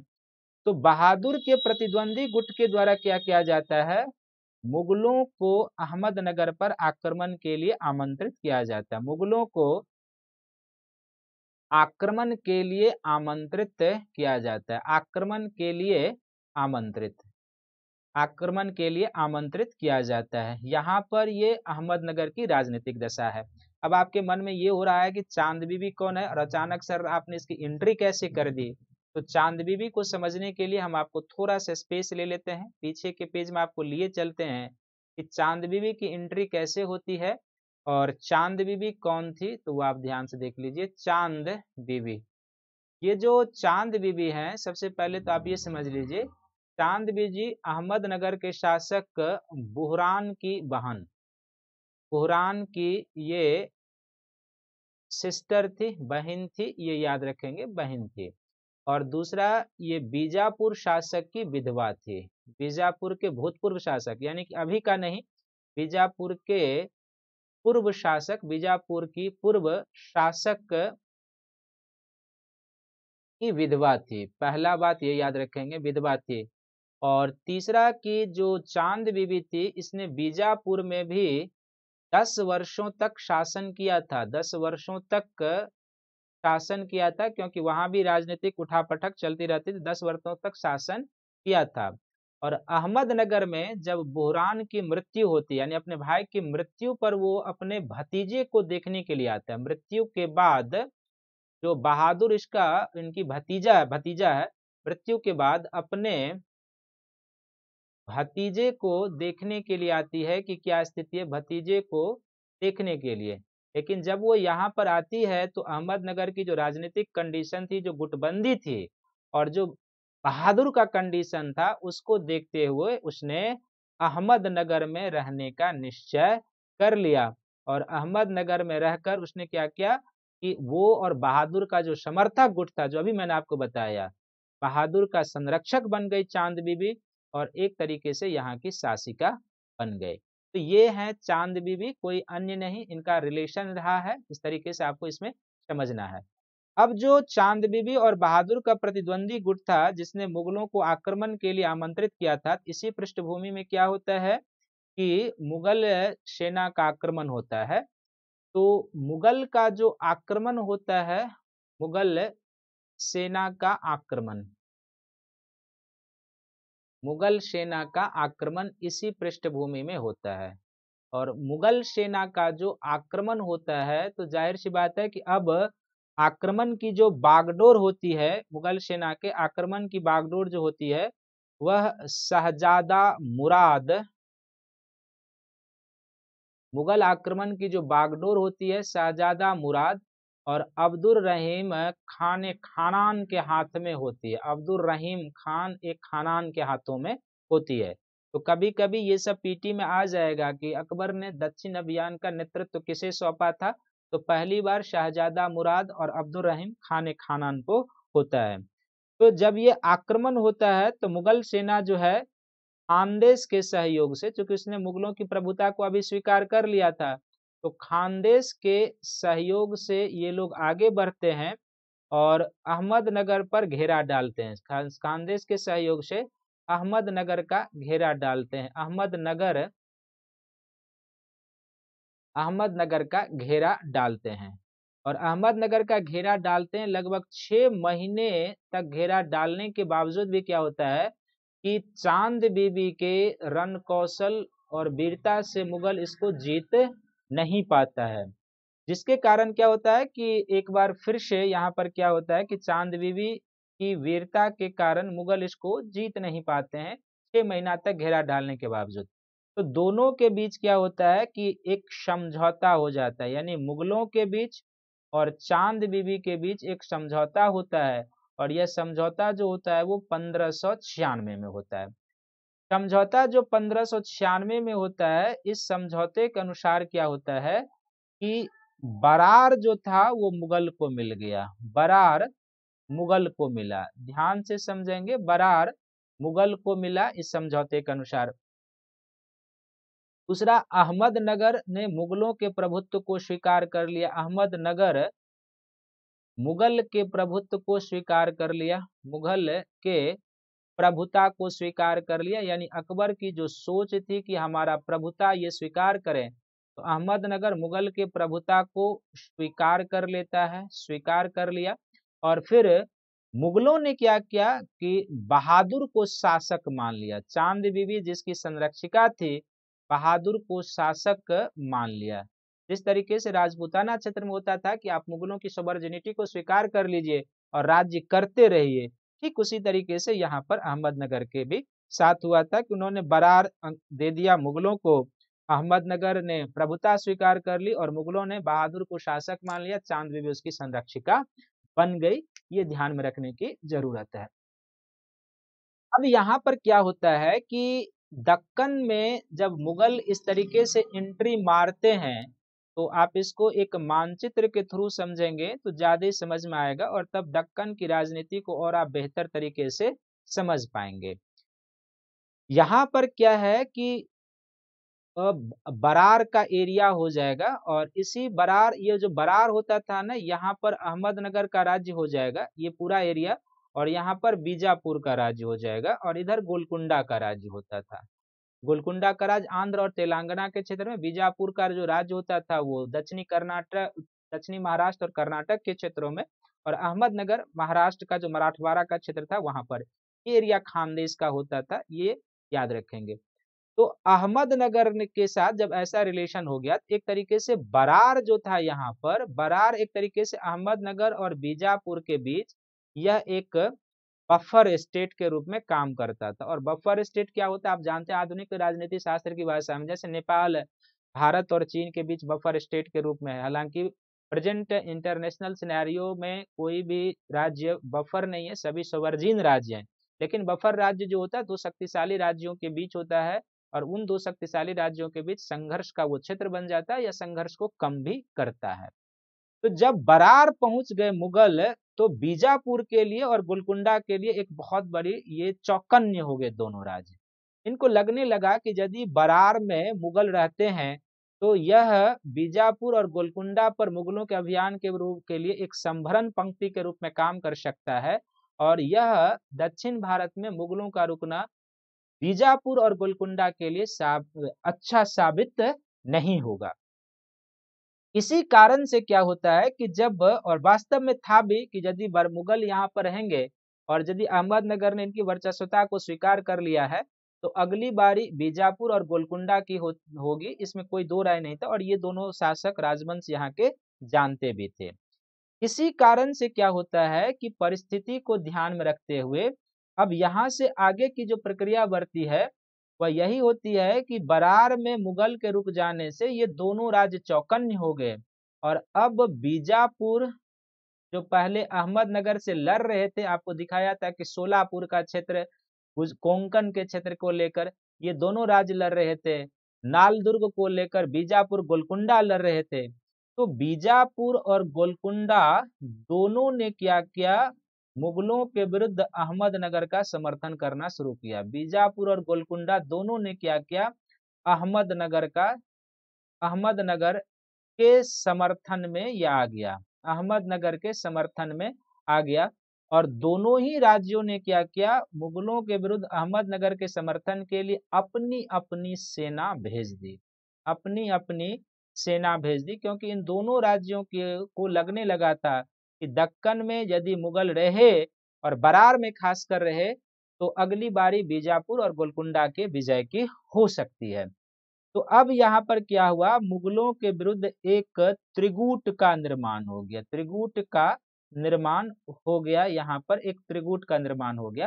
हालाँकि जो मुराद और जो जो अब्दुल रहीम खान खाना की सेना थी, उसने पंद्रह में क्या किया था कि पंद्रह में एक घमासान युद्ध होता है। पंद्रह में एक युद्ध होता है और इस युद्ध में मुगल सेना के द्वारा त्रिगुट सेना को पराजित किया जाता है। यानी कि बीजापुर, गोलकुंडा और अहमदनगर की संयुक्त सेना को मुगल सेना के द्वारा पंद्रह सौ में पराजित किया जाता यानी कि ये जो समझौता पंद्रह में हुआ था, ये बहुत अस्थायी नहीं रहा। यहाँ पर क्या होता है कि तीनों फिर एक हो जाते हैं त्रिगुट का निर्माण। पंद्रह में क्या होता है, इस त्रिगुट को मुगलों के द्वारा पराजित कर दिया जाता है। और पराजित करने के बाद क्या होता है कि फिर से मुगलों के द्वारा अहमदनगर का घेरा डाल दिया जाता है। मुगलों के द्वारा अहमदनगर का घेरा डाल दिया जाता है। इधर क्या होता है कि अहमदनगर का घेरा ये लोग डालते हैं और चाँद बीबी फिर से एक बार मुगलों के साथ संधि समझौता करना चाहती है, लेकिन आंतरिक जो आंतरिक दरबारी गुटबंदी थी, उसी दरबारी गुटबंदी में क्या होती है कि चाँद बीबी की हत्या कर दी जाती है। यहाँ पर क्या होता है कि चाँद बीबी की हत्या कर दी जाती है। और चाँद बीबी की हत्या कर दिए जाने के बाद क्या होता है कि जो अहमदनगर का प्रतिरोध था, वो धीरे धीरे क्या होता है? कम हो जाता है। और जब अहमदनगर का प्रतिरोध कम होता है, चाँद बीबी की हत्या कर दी गई थी, मुगल के द्वारा अहमदनगर का घेरा डाल दिया गया था, जैसे ही अहमदनगर का प्रतिरोध कम होता है धीरे धीरे तो सबसे पहला प्रभाव क्या होता है कि अहमदनगर पर अहमदनगर के किले पर मुगल का कब्जा हो जाता है। फिर से अहमदनगर के किले पर मुगल का कब्जा। अहमदनगर के किले पर मुगल कब्जा हो जाता है, मुगल कब्जा। अहमदनगर के किले पर पुनः क्या होता है? मुगलों का कब्जा हो जाता है। दूसरा क्या किया जाता है कि जो बहादुर राजा होता है, जिसको पहले माना गया था तो बहादुर को गिरफ़्तार करके ग्वालियर भेज दिया गया। बहादुर को गिरफ़्तार कर ग्वालियर भेज दिया गया। ग्वालियर किले में भेज दिया गया। यहाँ पर ग्वालियर किले में भेज दिया गया। तीसरा, मुगलों ने बालाघाट का क्षेत्र भी जीत लिया। जो बालाघाट का क्षेत्र था, मुगलों के द्वारा बालाघाट का क्षेत्र जीत लिया जाता है। बालाघाट का क्षेत्र जीत लिया और चौथा, अहमदनगर में एक मुगल सेना रख दी गई। अहमदनगर में, यानी विलय नहीं किया गया जो डलहौजी की थी नीति ना, वहाँ पर एक तरह सॉरी जो वेलेजली की नीति थी या जो आप डुप्लेक्सी ने नीति अपनाई थी आधुनिक भारत में, जो सहायक सेना रख दी जाती थी डुप्लेक्सी ने ये पॉलिसी अपनाई थी, बाद में उसको वेलेजली ने। तो अहमदनगर में एक मुगल सेना रख दी गई ताकि मुगल का वहाँ पर दबदबा बना रहे, मुगल सेना रख दी गई। इसके बाद क्या होता है? तो ये जो समय है, कब का है? ये समय एग्जैक्टली 1600 ईस्वी का है। ये एग्जैक्टली ये जो परिस्थितियाँ हैं 1600 में। इसके बाद अकबर के द्वारा क्या किया जाता है कि 1601 ईस्वी में पूरी तरीके से खानदेश पर अधिकार कर लिया जाता है। 1601 में खानदेश पर अधिकार कर लिया जाता है और इसी वर्ष क्या होता है कि 1601 में खानदेश और इसी खानदेश में असीरगढ़ का किला था। असीरगढ़ का किला। असीरगढ़ का किला भी जीत लिया जाता है, असीरगढ़ का किला भी जीत लिया जाता है। तो ये जो असीरगढ़ का किला जीत लिया गया, यह अकबर की अंतिम युद्ध और विजय। अकबर की, अकबर का अंतिम अभियान, अकबर का अंतिम अभियान।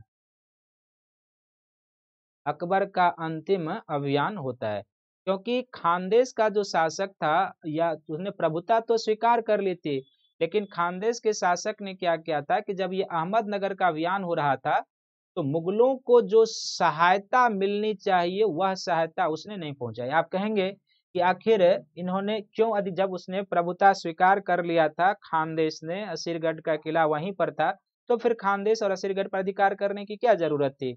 तो एक तो जब अहमदनगर का अभियान हुआ था 1600 में और उसमें तो अहमदनगर अभियान के समय जो खानदेश को सहायता करनी चाहिए थी, वो सहायता नहीं की थी।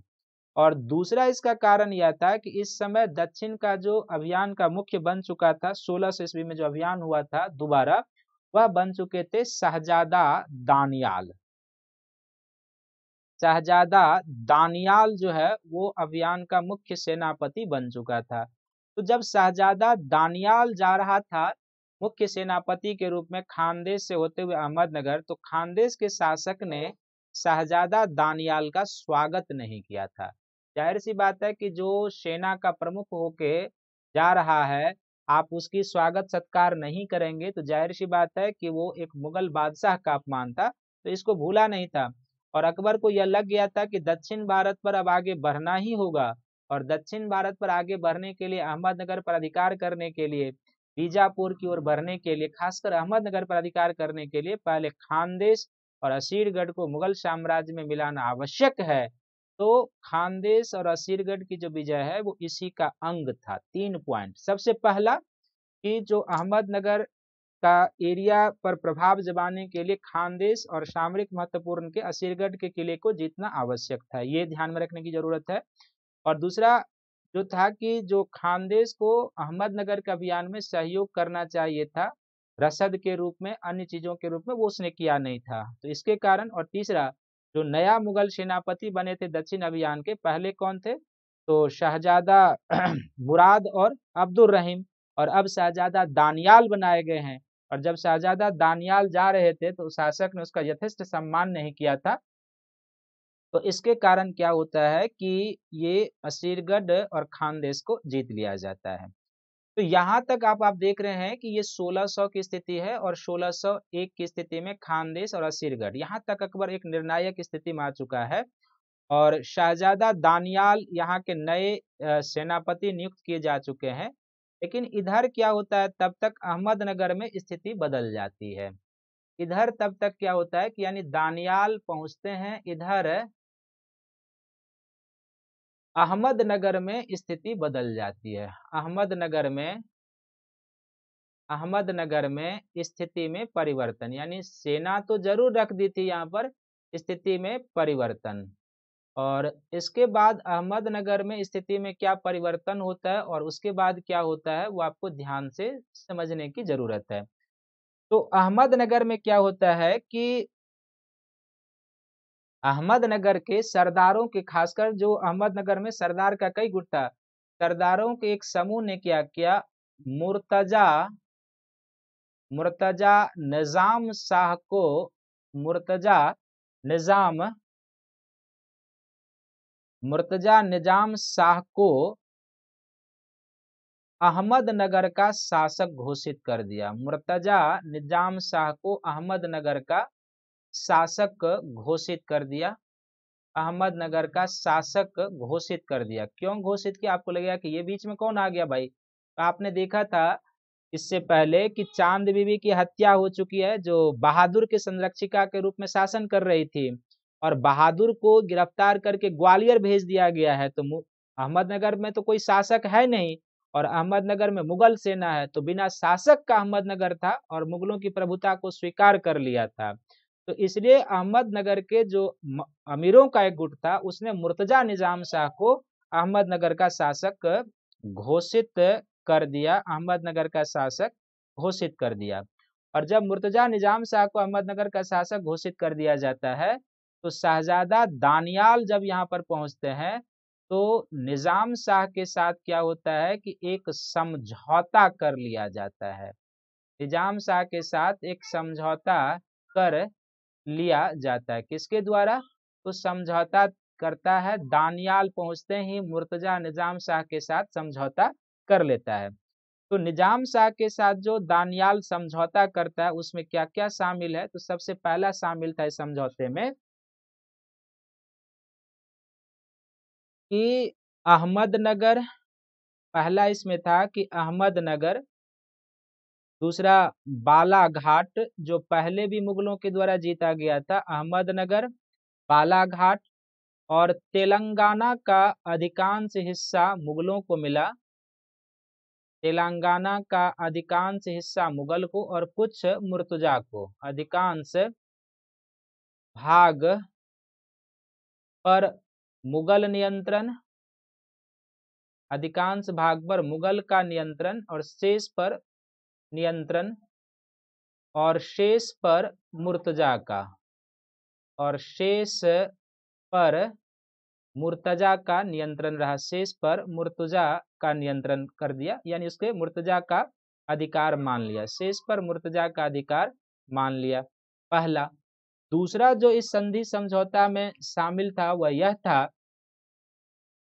जो सबसे महत्वपूर्ण पॉइंट था, वो दूसरा पॉइंट यह था कि मुर्तजा को शासक इस शर्त पर दानियाल ने स्वीकार किया था, मुर्तजा मुर्तजा को इस शर्त पर, मुर्तजा को इस शर्त पर शासक स्वीकार किया। मुर्तजा को इस शर्त पर शासक स्वीकार किया कि वह कि वह मुगलों का वफादार बना रहेगा। वह मुगलों का वफादार बना रहेगा। मुगलों का वफादार बना रहेगा और कभी विद्रोह नहीं करेगा और कभी मुगलों के खिलाफ विद्रोह नहीं करेगा। मुगलों के खिलाफ विद्रोह नहीं करेगा।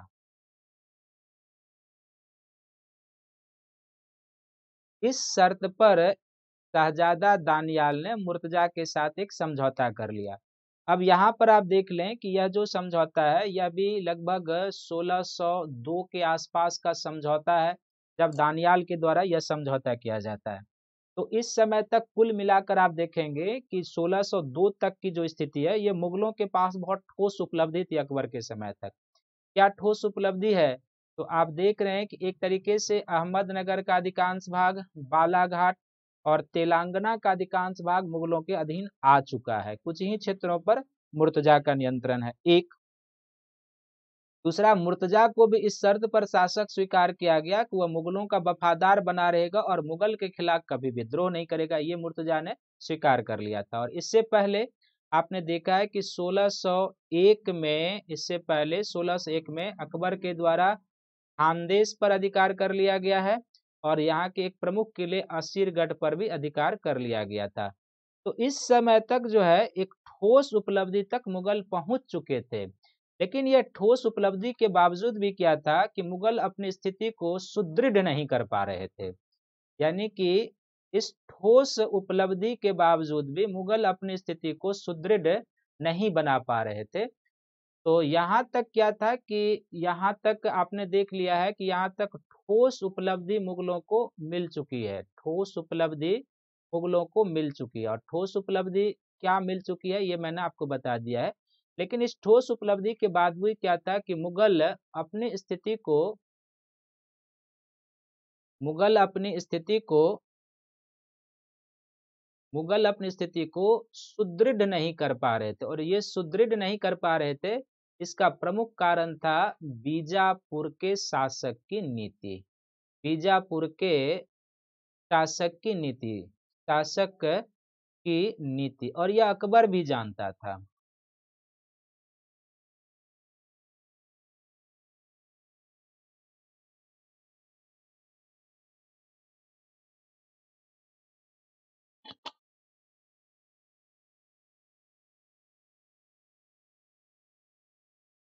तो सबसे क्या था कि जो ठोस उपलब्धि के बावजूद भी दक्कन में मुगल अपनी स्थिति को सुदृढ़ नहीं कर पा रहे थे, इसका रीजन था बीजापुर के शासक की नीति।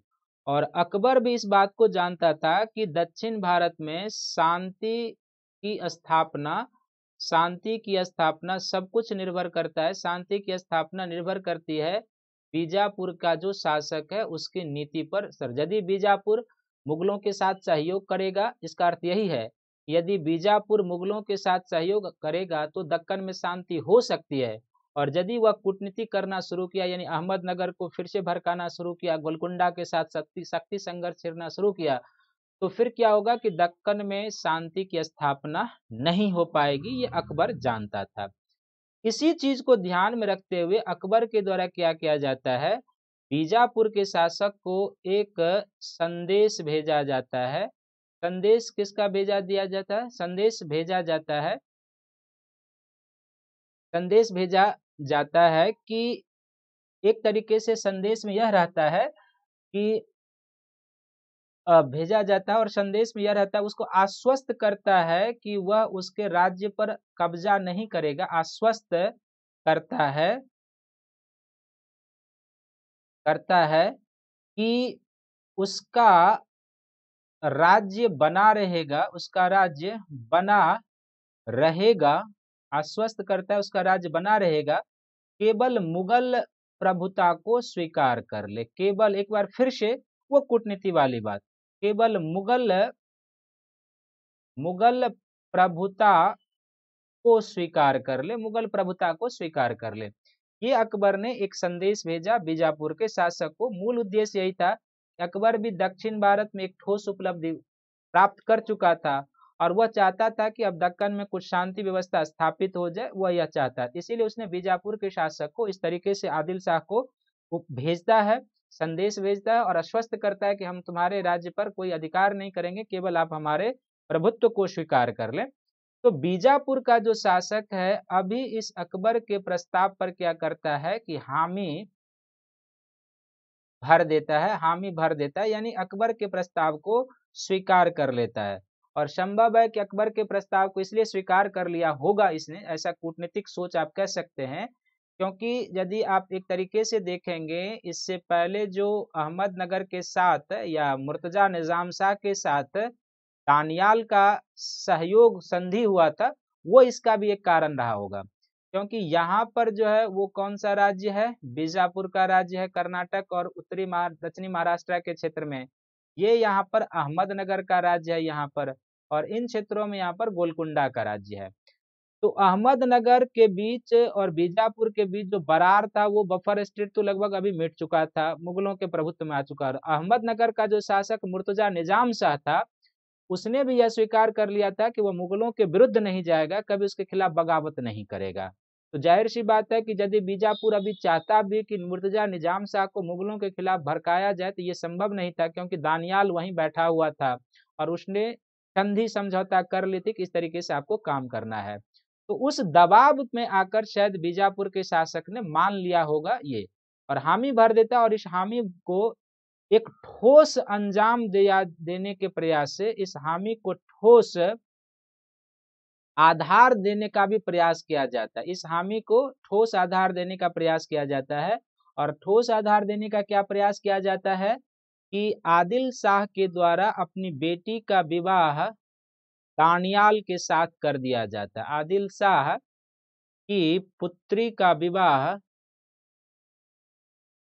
आदिल शाह की पुत्री का विवाह विवाह दानियाल के साथ कर दिया जाता है। दानियाल के साथ कर दिया जाता है। साथ कर दिया जाता है। यानी कि एक तरीके से आप यह कह सकते हैं यहाँ भी अकबर ने एक तरीके से, जिस तरीके से राजपूतों के साथ उसने नीति में वैवाहिक संबंधों को एक आधार दिया था ठीक उसी तरीके से दक्कन में भी यह कोशिश की गई कि शांति स्थापना मुगलों के प्रभुत्व को स्वीकार करने के लिए वैवाहिक नीति को बढ़ावा दिया गया। तो शहजादा दानियाल के साथ क्या होता है कि इसकी पुत्री का विवाह कर दिया जाता है और दक्कन में मुगल कुछ और ठोस उपलब्धि धारण करते और यह वैवाहिक, जो नीति है, वह कुछ ठोस आधार धारण करता करता तब तक क्या होती है कि यह यहाँ पर दानियाल की मृत्यु हो जाती है। दानियाल की मृत्यु होती है और दानियाल की जो मृत्यु होती है बेसिकली अधिक शराब खोरी के कारण दानियाल की मृत्यु हो जाती है। कई बार यह भी पूछा जाता है कि किस पुत्र की मृत्यु शराब खोरी के कारण हुई थी? तो शराब खोरी के कारण दानियाल की मृत्यु हो जाती है और जब दानियाल की मृत्यु हो जाती है तो यह जो वैवाहिक नीति की शुरुआत हुई थी यहीं पर समाप्त हो जाती है। यहीं पर क्या होता है? समाप्त हो जाती है। इधर दानियाल की मृत्यु होती है और उधर उत्तर में क्या होता है कि उत्तर में जहांगीर का एक तरीके से बगावत होता है। जहांगीर का बगावत होता है। विद्रोह कर बैठते हैं और जब वह विद्रोह कर बैठते हैं तो अकबर को क्या होता है इसी परिस्थिति में उत्तर से दक्षिण वापस, दक्षिण से उत्तर वापस आ जाना पड़ता है। तो परिस्थिति अभी क्या है, ये ध्यान में रखने की ज़रूरत है कि आप जब जहांगीर को आप पढ़ेंगे तो लास्ट स्टेज की स्थिति को ध्यान में रखना है। लास्ट स्टेज की क्या स्थिति है? तो लास्ट स्टेज फाइनल यही है कि गोलकुंडा के साथ कोई संति समझौता नहीं। बीजापुर के साथ एक ठोस आधार देने की कोशिश की जाती है, जिसका वैवाहिक संबंधों को बढ़ावा देने का प्रयास किया जाता है, लेकिन हो नहीं पाता है क्योंकि शराबखोरी के कारण क्या होता है, दानियाल की मृत्यु हो जाती है। तो बीजापुर के साथ मुगलों के संबंध कोई ठोस आधार पर नहीं जाता है, वो वही स्थिति में रह जाता है। दूसरा क्या होता है कि उत्तर भारत में अकबर को आवश्यक लौटना पड़ता है और लौटने के बाद 1605 में अकबर की मृत्यु होती है, फिर जहांगीर का सिंहासन आरोहण होगा। और दानियाल की उपस्थिति में और मुगल सेनाओं की अनुपस्थिति में क्या होता है? मुगल सेनापति की अनुपस्थिति में अहमदनगर में भी राजनीतिक परिस्थितियाँ चेंज होने लगती है। तो इसी पृष्ठभूमि में जहांगीर बादशाह बनेंगे और फिर उनको दक्कन की नीति क्रियान्वित करनी है। तो इसी पृष्ठभूमि में जहांगीर के दक्कन की नीति को समझा जा सकता है। तो अब आप चलिए जहांगीर की दक्कन की पॉलिसी। जहांगीर जहांगीर की दक्कन की नीति। तो जहांगीर की दक्कन की नीति को समझने के पहले, सबसे पहले क्या है कि आप यह समझ लीजिए कि अहमदनगर की क्या स्थिति थी इस समय? अहमदनगर की स्थिति। और अहमदनगर की स्थिति से समझेंगे तो आप यहाँ पर समझेंगे। अहमदनगर में क्या था कि इस समय मलिक अंबर का उदय हो चुका था। मलिक अंबर का उदय हो चुका था अहमदनगर में। तो सबसे पहले आपके मन में यही होगा कि ये मलिक अंबर कौन था, कहाँ से आया, किस तरीके से और क्या इसका रोल प्ले किया इसने? ये यहाँ, यानी कि जहांगीर से लेके शाहजहां तक अहमदनगर की राजनीति के सर्वो सर्वा जो रहते हैं, मलिक अंबर के हाथों में रहता है और मुगलों को काफ़ी परेशान ये करता है। तो सबसे पहले मलिक अंबर कौन था? इस बात को आप जान लीजिए। तो मलिक अंबर जो था, यह इथोपिया का एक हबसी सरदार था। इथोपिया का इथोपिया का एक हबसी सरदार था। सबसे पहला पॉइंट तो ये याद रखेंगे मलिक अंबर के बारे में। दूसरा, इसको क्या किया था? इसके माँ बाप जो थे, काफ़ी गरीब थे। इसके गरीब माँ बाप ने, इसके गरीब माँ बाप ने बगदाद में, यानी कि गरीब माँ बाप ने बगदाद में इसे बेच दिया था। बगदाद में बगदाद में बेच दिया था, जो दास प्रथा होती थी क्रय विक्रय की, उसके तहत इसको क्या गया था? बगदाद में बेच दिया गया था। बगदाद में बेच दिया गया था। और यहाँ से बगदाद से एक व्यापारी के द्वारा खरीदकर यह दक्षिण भारत लाया गया था। व्यापारी के द्वारा खरीदकर व्यापारी के द्वारा खरीदकर दक्षिण भारत दक्षिण भारत लाया गया था।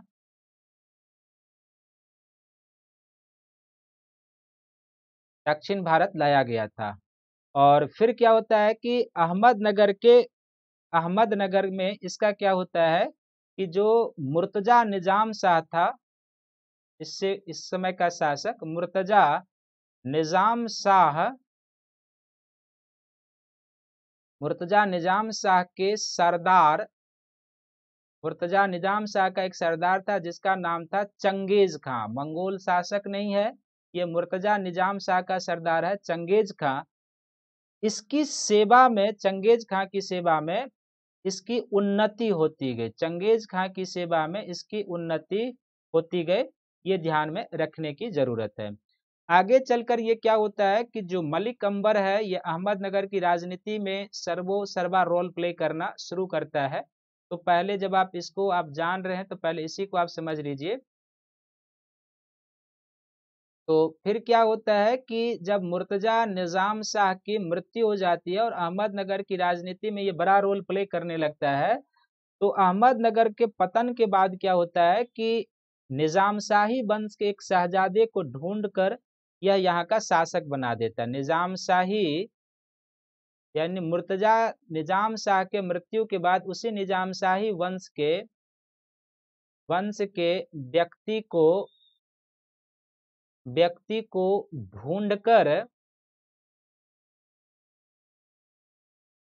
व्यक्ति को ढूंढकर शासक बनाता है।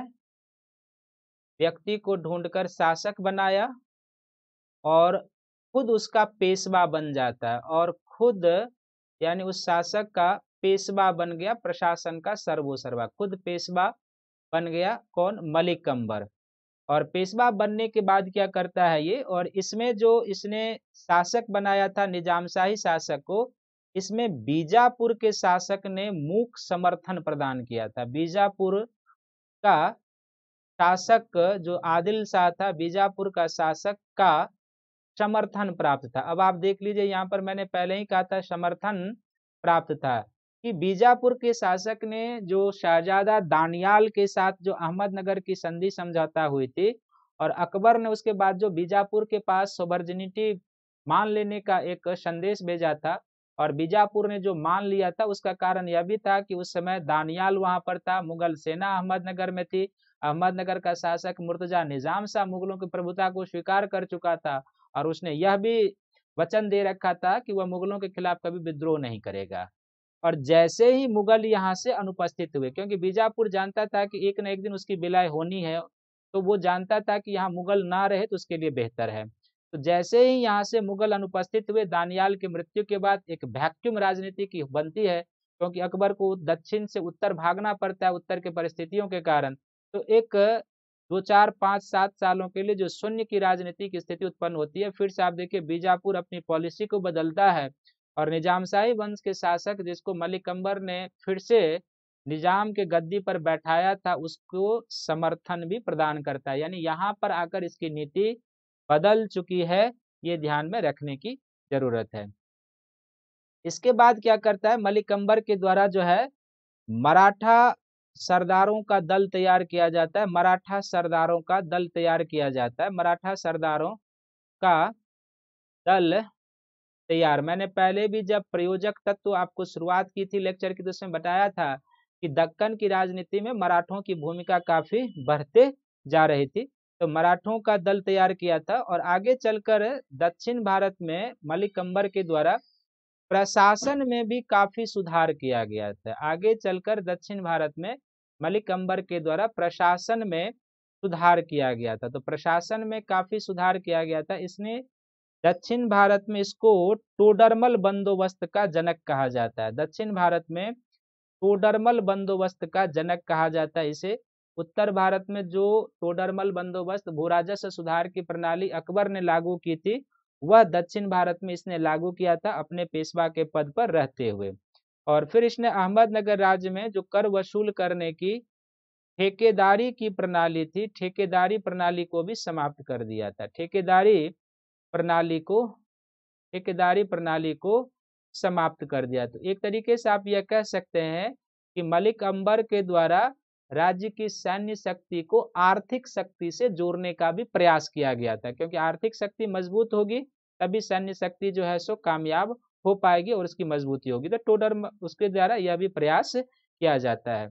तो ये जो था एक मलिक कंबर के ऊपर आपके पास इंफॉर्मेशन था, जो मैंने आपको बता दिया और जहांगीर के समय में ये घटना है, सब कुछ अकबर के मृत्यु के बाद की है। जब जहांगीर अब दक्षिण भारत में जाएगा तो मलिक अंबर का उसको सामना करना पड़ेगा। और मलिक अंबर क्या क्या नीति अपनाता है? किस तरीके से वो काम करता है, कैसी परिस्थितियाँ बनती है, इस सब पर हम आपसे चर्चा करेंगे अगले लेक्चर में। तब तक आप इस लेक्चर को देखिए, सुनिए, सब्सक्राइब कीजिए, लाइक कीजिए इस वीडियो को। मैं उम्मीद करता हूँ कि जितना कॉन्सेप्ट हो सकता था वो मैंने दिया, सारे फैक्ट भी इसमें मैंने शामिल कर दिए हैं। तो फैक्ट में कई बार प्रश्न ये पूछता है चाँद बीबी कहाँ की शासिका थी? तो कई बार पूछेगा मलिक अंबर कहाँ की शासिका थी? मलिक अंबर पर स्टेटमेंट करके आ सकता है। दक्षिण भारत में टोडरमल बंदोबस्त का जनक कौन था? ये आपसे पूछा जा सकता है। मुगलों के जो दक्षिण अभियान के जो सेनापति रहे, उसके बारे में तो सबसे पहले कौन थे? तो आपने देखा है कि जो मुराद और अब्दुल रहीम खान खाना थे, वे फिर शाहजादा दानियाल बनाए गए। और फिर अकबर की दक्षिण की नीति का क्या उद्देश्य था? किस तरीके से आगे बढ़ते हैं? क्या क्या प्रक्रिया हुई? पूरी प्रक्रिया मैंने आपको डिटेल से बताया है। अगले लेक्चर में मलिक अंबर के बारे में तो आपने जान लिया है। अगले लेक्चर में हम आपको जहांगीर और शाहजहां दोनों की जो दक्कन की नीति है, किस तरीके से आगे बढ़ती है, उस पर आपको लिए चलेंगे। तब तक आप इस वीडियो को देखिए, लाइक कीजिए, शेयर कीजिए, सब्सक्राइब कीजिए और यदि आप या आपके मित्रों में से कोई जीएस का सब्सक्रिप्शन लेना चाहता है तो प्लस कोर्स का जो सब्सक्रिप्शन है, वो 12 मंथ के सब्सक्रिप्शन का जो सब्सक्रिप्शन फ़ीस है, ये उनचास हज़ार पाँच सौ का है। और यहाँ यदि आप मेरा रेफरल कोड शंकर वाईटी प्रयोग करेंगे तो 10 परसेंट डिस्काउंट पाएँगे, तब 12 मंथ का जो प्लस कोर्स का सब्सक्रिप्शन है, आपको चौवालीस हज़ार पाँच सौ पचास में प्राप्त होगा। और यदि आप 24 मंथ का सब्सक्रिप्शन लेना चाहते हैं तो 24 मंथ के प्लस कोर्स का सब्सक्रिप्शन बहत्तर हज़ार का है। यहाँ यदि आप मेरा रेफरल कोड शंकर वाईटी प्रयोग करेंगे तो आप इंस्टेंट टेन परसेंट डिस्काउंट पाएँगे। तब 24 मंथ का जो सब्सक्रिप्शन है, आपको चौंसठ हज़ार आठ सौ में प्राप्त हो जाएगा। और जीएस का जो दूसरा सब्सक्रिप्शन है, उसको हम लोग कहते हैं आइकॉनिक सब्सक्रिप्शन है। तो आप आइकॉनिक सब्सक्रिप्शन भी ले सकते हैं और आइकॉनिक सब्सक्रिप्शन के बारह मंथ का जो सब्सक्रिप्शन फ़ीस है, ये उनहत्तर हज़ार पाँच सौ का है। और यहाँ पर भी यदि आप मेरा रेफरल कोड शंकर वाईटी प्रयोग करेंगे तो आप टेन परसेंट डिस्काउंट पाएँगे। तब बारह मंथ का आइकॉनिक सब्सक्रिप्शन आपको बासठ हज़ार पाँच सौ पचास में प्राप्त हो जाएगा। और यदि आप 24 मंथ का आइकॉनिक सब्सक्रिप्शन लेना चाहते हैं तो 24 मंथ का आइकॉनिक सब्सक्रिप्शन एक लाख सात हज़ार का है। और यहाँ पर भी यदि आप मेरा रेफरल कोड शंकर वाईटी प्रयोग करेंगे तो आप टेन परसेंट इंस्टेंट डिस्काउंट पाएँगे। तब चौबीस मंथ का आइकॉनिक सब्सक्रिप्शन आपको इक्यानवे हज़ार तीन सौ में प्राप्त हो जाएगा। आइकॉनिक सब्सक्रिप्शन में आपको क्या क्या मिलता है? तो सबसे पहले इसमें आपको लाइव क्लास मिलता है, टेस्ट सीरीज़ मिलता है, अनलिमिटेड प्रैक्टिस मिलता है, स्ट्रक्चर शेड्यूल मिलता है, personal coach, daily mains question answer writing, study planner और पर्सनल फीडबैक के आधार पर आपकी तैयारी कराई जाती है। इसमें जो पर्सनल कोच और डेली क्वेश्चन आंसर मेंस का कराया जाता है, ये आइकॉनिक सब्सक्रिप्शन की सबसे मूल विशेषता है, क्योंकि जब आप यूपीएससी जैसे प्रतिष्ठित सेवा की तैयारी करते हैं, जो देश का सबसे टफ कंपटीशन माना जाता है तो यहाँ पर आपको क्या करना होता है ना कि एक बेहतर रणनीति की ज़रूरत होती है, बेहतर रणनीतिकार की ज़रूरत होती है, जो आपको सही, गलत क्या है, आपके लिखे हुए कंटेंट को चेक करे, आपके मज़बूत पक्ष के, आपके कमज़ोर पक्ष को तरफ़ आपका ध्यान खींचे और आपकी सफलता को सुनिश्चित करे। तो एक ऐसा प्रशिक्षक, मार्गदर्शक आपको आइकॉनिक सब्सक्रिप्शन में मिलता है। और फिर आप ऑप्शनल पेपर का भी अलग से सब्सक्रिप्शन ले सकते हैं। तो ऑप्शनल पेपर के 12 मंथ का जो सब्सक्रिप्शन फ़ीस है ये सत्ताईस हज़ार पाँच सौ का है और यहाँ पर भी यदि आप मेरा रेफरल कोड शंकर वाईटी प्रयोग करेंगे तो आप टेन परसेंट डिस्काउंट पाएँगे। तब 12 मंथ का जो सब्सक्रिप्शन है, ये आपको चौबीस हज़ार सात सौ पचास में प्राप्त हो जाएगा। और जैसे कि मैंने पहले भी लेक्चर के शुरू में बताया था कि मैं अकेडमी के यूट्यूब चैनल पर जोग्राफी ऑप्शनल पेपर पढ़ाना शुरू किया हूँ। अभी इसके तीन लेक्चर हुए हैं कि जो टाइमिंग है टू पी में है, दो पी में है आज भी इसकी क्लास होगी दो पी में तो आप सभी लोग, मैं टेलीग्राम लिंक पर शेयर कर देता हूँ। क्लास लिंक आप वहाँ से देख सकते हैं और लाइव क्लास में आए तो आपके मन में जो भी डॉट होगा, वो भी आप क्लियर कर सकते हैं। तो 2 पीएम में आज आप हमसे जुड़ सकते हैं इस लाइव सेशन में, ज्योग्राफी के ऑप्शनल पेपर में। तब तक इस वीडियो को सभी लोग लाइक करें, शेयर करें, सब्सक्राइब करें, ताकि अधिक से अधिक लोग इसका बेनिफिट प्राप्त करें। और आपकी जो डिमांड है उस पर मैं कहाँ तक खरा उतरता हूँ, उस पर भी आप कमेंट करें, मुझे लिखें ताकि मुझे पता चले कि आपकी जो रिक्वायरमेंट है, जो एग्ज़ाम का रिक्वायरमेंट है, मैं उसको फिलफुल कर पाता हूँ या नहीं। आपके जो कमेंट होंगे, जो लाइक होंगे, शेयर होंगे, सब्सक्राइब होंगे, वो हमारे लिए तरीके से बूस्ट का काम करता है तो वो ज़रूर कीजिएगा। और अगले वीडियो में हम आपके लिए दक्कन पर जो जहांगीर और शाहजहां के समय की जो नीति है, जो घटनाक्रम है, उसके बारे में डिटेल से इसी तरीके से कॉन्सेप्ट फैक्ट का मिश्रण लेके आएँगे। तब तक इस वीडियो को सभी लोग देखिए लाइक कीजिए शेयर कीजिए सब्सक्राइब कीजिए। थैंक यू धन्यवाद है सभी को।